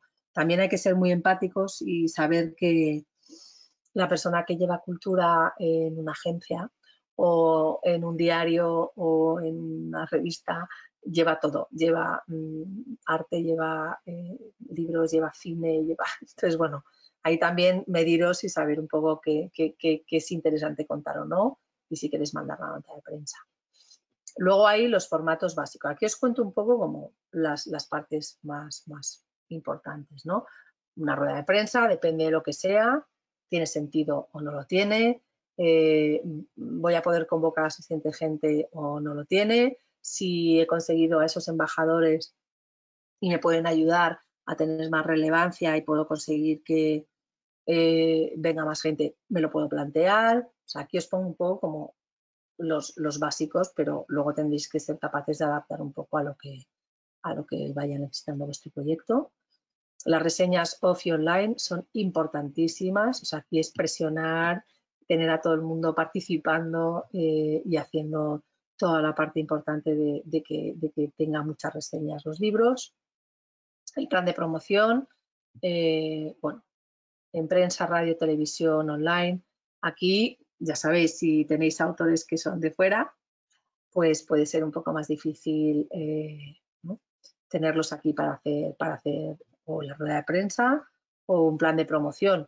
O podéis utilizar parte de las ayudas, eh, a lo mejor, para atraer al autor y si es muy interesante poder hacer todo un plan de promoción. Si no, os queda siempre la parte de las entrevistas eh, vía correo electrónico o, online, como, como, estamos aquí nosotros ahora. Eh, pero bueno, es una cosa que si se puede y veis que puede tener interés, yo no dejaría de, incluirla. Eh, la presentación del libro. Em, y aquí, bueno, volvemos un poco a... Aquí hay dos mundos. Está una parte donde nosotros sí siempre apoyamos al librero, al universo del libro y, normalmente es una cosa que además eh, no incurre en gasto. Cuando podemos hacer una presentación del libro eh, en una librería, pues bueno, tenemos ahí además el punto de venta, etcétera. Eh, pero en ocasiones y dependiendo de los libros que sean, yo también os invitaría a pensar un poco otras maneras ¿no? de hacerlo. muchas veces uno se piensa que algo no es posible luego se pone a investigar y resulta que el sitio te lo, te lo prestan sin gasto, eh, como no se ha hecho nunca, pues resulta que viene mucha más gente porque le apetece mucho ver la presentación de un libro en el planetario, eh, porque va sobre el espacio, la ciencia o, algo así, eh, desde un jardín botánico, desde un, o sea, que penséis un poco más en esa parte, teniendo siempre en cuenta la parte logística, por supuesto, la parte de que lo que queremos es vender el libro, en la presentación se venden bastantes, pero bueno, que podéis hacer un buen mix eh, a la hora de plantearos también un poco cómo querríais presentar el libro y en qué lugar. Eh, y no dejéis de, ser imaginativos. Yo creo que es una cosa que, ayuda mucho a, crear un poquito más de, ganas y, de, que la gente vea que, puede ser algo especial. Em, y luego, por supuesto, en el lanzamiento, igual que en el, en el prelanzamiento, toda la parte de redes sociales, hay que compartir todo lo que sale, mm, muy importante no hablar solo de nuestro libro y de nuestro autor, sino hablar de todo lo que sale, del territorio que hemos buscado, de esa conversación, de las noticias relevantes, etcétera. Medir lo que hacemos, esto es una cosa súper importante que, a veces no tenemos mucho tiempo, no lo tenemos en las empresas grandes. Me imagino que cuando hay que quitarse el gorro y ponerse el gorro eh, eh, también es difícil, pero si podéis, por lo menos aseguraros un poco para saber qué vais a corregir, qué dejáis de hacer. Bueno, lo que hemos dicho muy al principio, ¿no? En comunicación tienes que tener un plan muy claro para luego ser súper flexible. Entonces, eso, eh, tenerlo claro. Em, estar en mesas redondas, en coloquios, buscar y activar, si no hay las que nosotros queremos, crearlas nosotros mismos. Clubes de lectura con canales de venta, que ayudan mucho también a la hora de la logística, la organización con bibliotecas, con universidades y utilizar temáticas de, empuje para los días de el Día del Planeta, el Día del... Y volviendo al vídeo del comienzo, nosotros tenemos muy claro todo, estamos metidos en el día a día, pero el señor que va a comprar una callata, que una callata. Entonces, si hay una persona que de repente el Día del Padre, el Día del X, pues le ayuda a saber que ese es el día en el que va a entrar a una librería, pues que lo tengáis en cuenta y aprovechéis para utilizarlo, porque nunca viene mal. El mantenimiento, siempre que sea posible, eh, cuando se ha hecho una buena trayectoria de pre y lanzamiento, es hacer crecer el proyecto incorporando storytelling, eh, iniciar a todos los eventos relevantes que han podido ir pasando. A lo mejor hemos elegido un hilo conductor estupendo, resulta que nos va a llevar mucho más lejos de lo que teníamos planteado, entonces estar siempre ahí eh, acercándonos a esa parte, mantener una presencia en medios, añadir nuevos medios que no teníamos pensados, esto pasa a veces, ¿no? Pues las revistas femeninas, los suplementos, o sea, tener claro un poco dónde podemos ir avanzando y pensar en nuevos ángulos y luego compilar todas las reseñas Silverbs que nos sirven un poco para nuevo público, ¿no? Eh, ya sabemos que hay mm, detractores y, a favor de la la faja o, lo que llamo yo la faja virtual. O sea, hay mucha gente que si ve muchas reseñas, pues sí decide comprarse el libro. Entonces, no desaprovechéis eh, compilar todo eso para tenerlo en un solo lugar y ayudar mucho al público a decidir por vuestro libro. En la fase de mantenimiento, pues consolidar la, presencia del autor en, ferias, en festivales, en certámenes, en mesas redondas, eh, llevar el, nuevo, el, público, el libro a nuevos públicos, buscando otras, eh, otros vínculos que al principio no podíamos tener claros y escuchar las conversaciones a las que nos podemos unir para mantener el libro activo, lo que os digo, ¿no? Crear las alertas, qué hilo conductor queréis y estar ahí siempre presentes, ¿no? Aprovecho un poco para haceros la distinción entre banded content porque ya es la una y quiero mantenerme en, tiempos. Eh, el branded content eh, en marketing, esto, hacemos una distinción entre el marketing de contenidos y el branded content. El branded content es un tipo de contenido basado en la relación que, la marca, en este caso tu, libro, tu hilo conductor y tu autor, establece con el público por medio de valores y emociones. Em, y trasciende un poco del producto. Siempre queremos que al final acabe en el, producto, en este caso en el libro. Pero es verdad que, que si podemos hacer una mezcla, eh, es muy recomendable. Y, vosotros como editores y, como eh, protectores y trasladadores de, contenido tan mágico y maravilloso como son los libros, tenéis mucho donde tirar, lo que necesitas un poco de tiempo para pensárselo. Pero bueno, aquí os he puesto un link con casos prácticos, ¿vale? Algunos son muy notorios, como puede ser Aprendamos Juntos, que es de un banco BBVA, jamás habla de producto, jamás habla de, nada más, habla de gente que te está contando cosas muy importantes y que quiere impactar de manera emocional y en los valores, ¿vale? Ahí tenéis unos cuantos ejemplos. Y luego el marketing de contenidos que, tiene como fin una conversión bajo una metodología que llamamos el marketing inbound. O sea, es mm, pongo en práctica algo porque quiero algo. Si hago un concurso para que me dejas la portada, quiero que me des tu correo electrónico, ¿no? Eh, si hay esta guía, te la descargas, pero me das tu correo electrónico. Si hago una infografía sobre el viaje de los autores nórdicos o mm, sobre eh, el cómic en este rubro, pues te voy a pedir el correo electrónico. O sea, al final un poco sirve para, para ir creando ese viaje y que la gente acabe comprando. Aquí también os dejo un link con, con unos cuantos ejemplos. Y luego aquí había llegado a mi caso práctico, me da mucha pena, eh, donde íbamos a trabajar un poquito alguna idea que tuvierais. Aprovecho, yo creo que se me, se, me ve a mí, ¿verdad? Aprovecho una cosa que había comprado para usar en el taller, pero que no, no he podido, que se llama Manual Thinking. Esto lo podéis comprar online eh, y está muy bien porque cuando uno tiene muchas ideas en la cabeza y luego lo tiene que pasar a un Word, que es un rollo, eh, te ayuda muchísimo a crear ese territorio, esa conversación y esas acciones eh, de manera muy visual que luego te ayuda mucho a trasladarlo. Entonces, bueno, esto nos hemos quedado sin hacerlo, me da mucha pena, pero, pero bueno.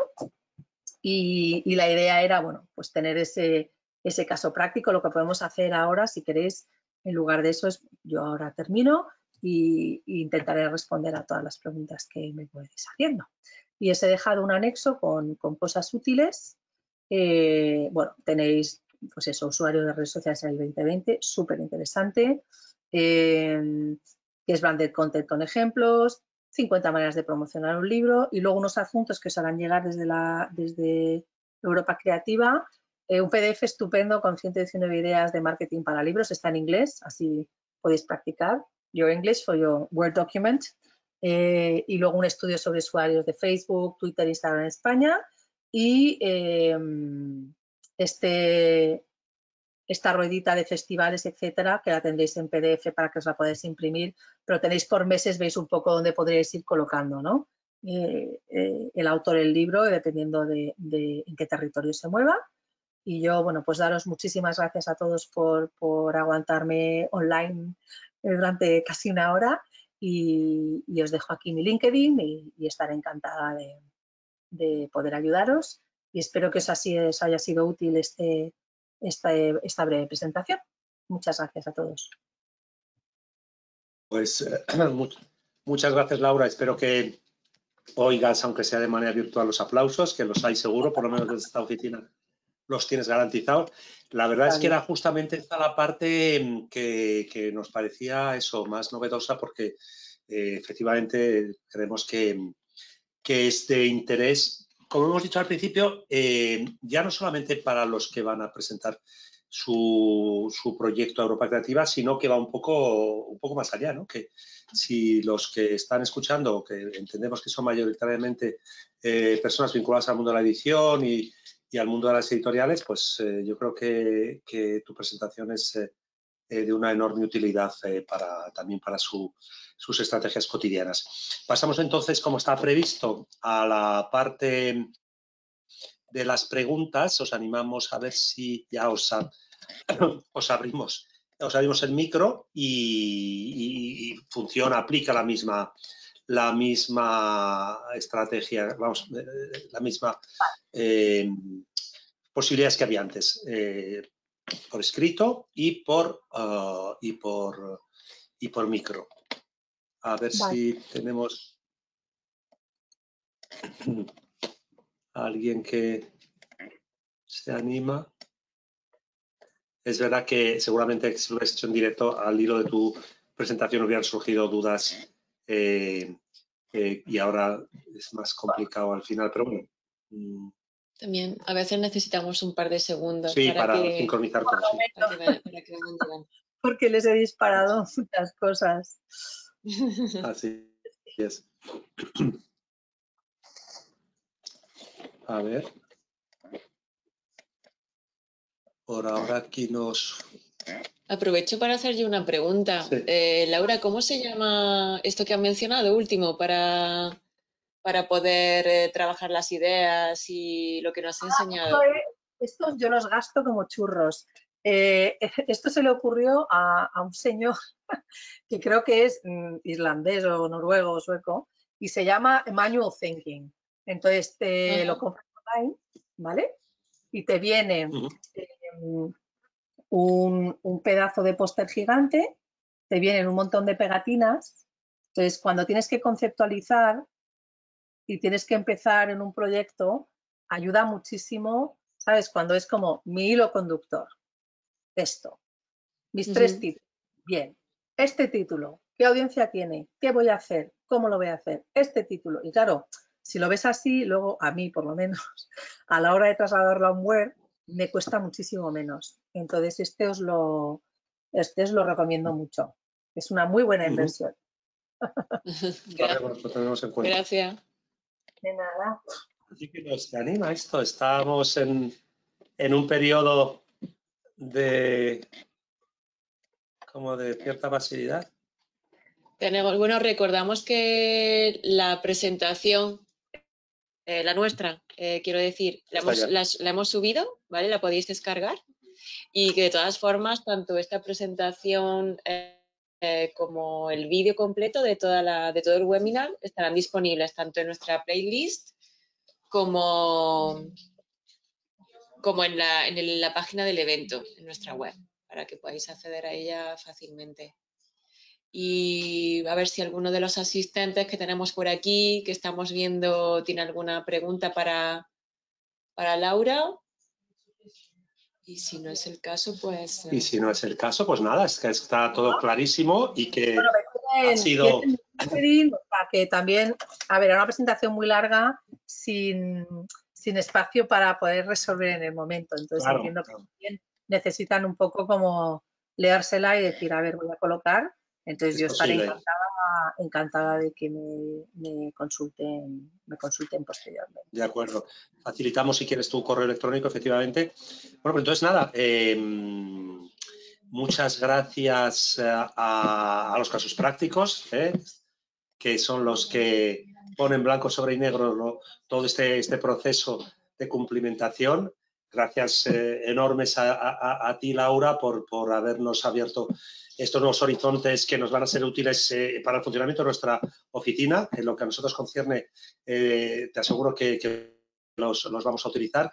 Gracias a nuestros colegas de, Andalucía, que eran nuestros coorganizadores, pero que desgraciadamente, bueno, pues ya, ya hemos dicho que no, ha podido ser, pero bueno, que ellos han estado muy al pie del cañón y que, bueno, pues seguramente habrá ocasiones más que suficientes para, hacer algo con, ellos y, bueno, pues como siempre a, David que ha estado sobrevolando toda esta sesión informativa y que ha hecho que saliese muy bien. Así que eh, Bárbara, a Diego, a nuestros compañeros de Andalucía y muchas a ti, Laura, y os emplazamos para la próxima. Y eh, insistimos en esto, va a haber una una, encuesta que os vamos a mandar. Ya sabéis que estamos muy pesaditos con el tema de recibir vuestras opiniones para ver cómo podemos orientar nuestras próximas eh, presentaciones y que luego todo estará colgado en nuestra página web bajo el enlace de esta sesión informativa. Así que nada, hasta la próxima y muchas gracias por estar aquí. Chao. Muchísimas gracias. Adiós.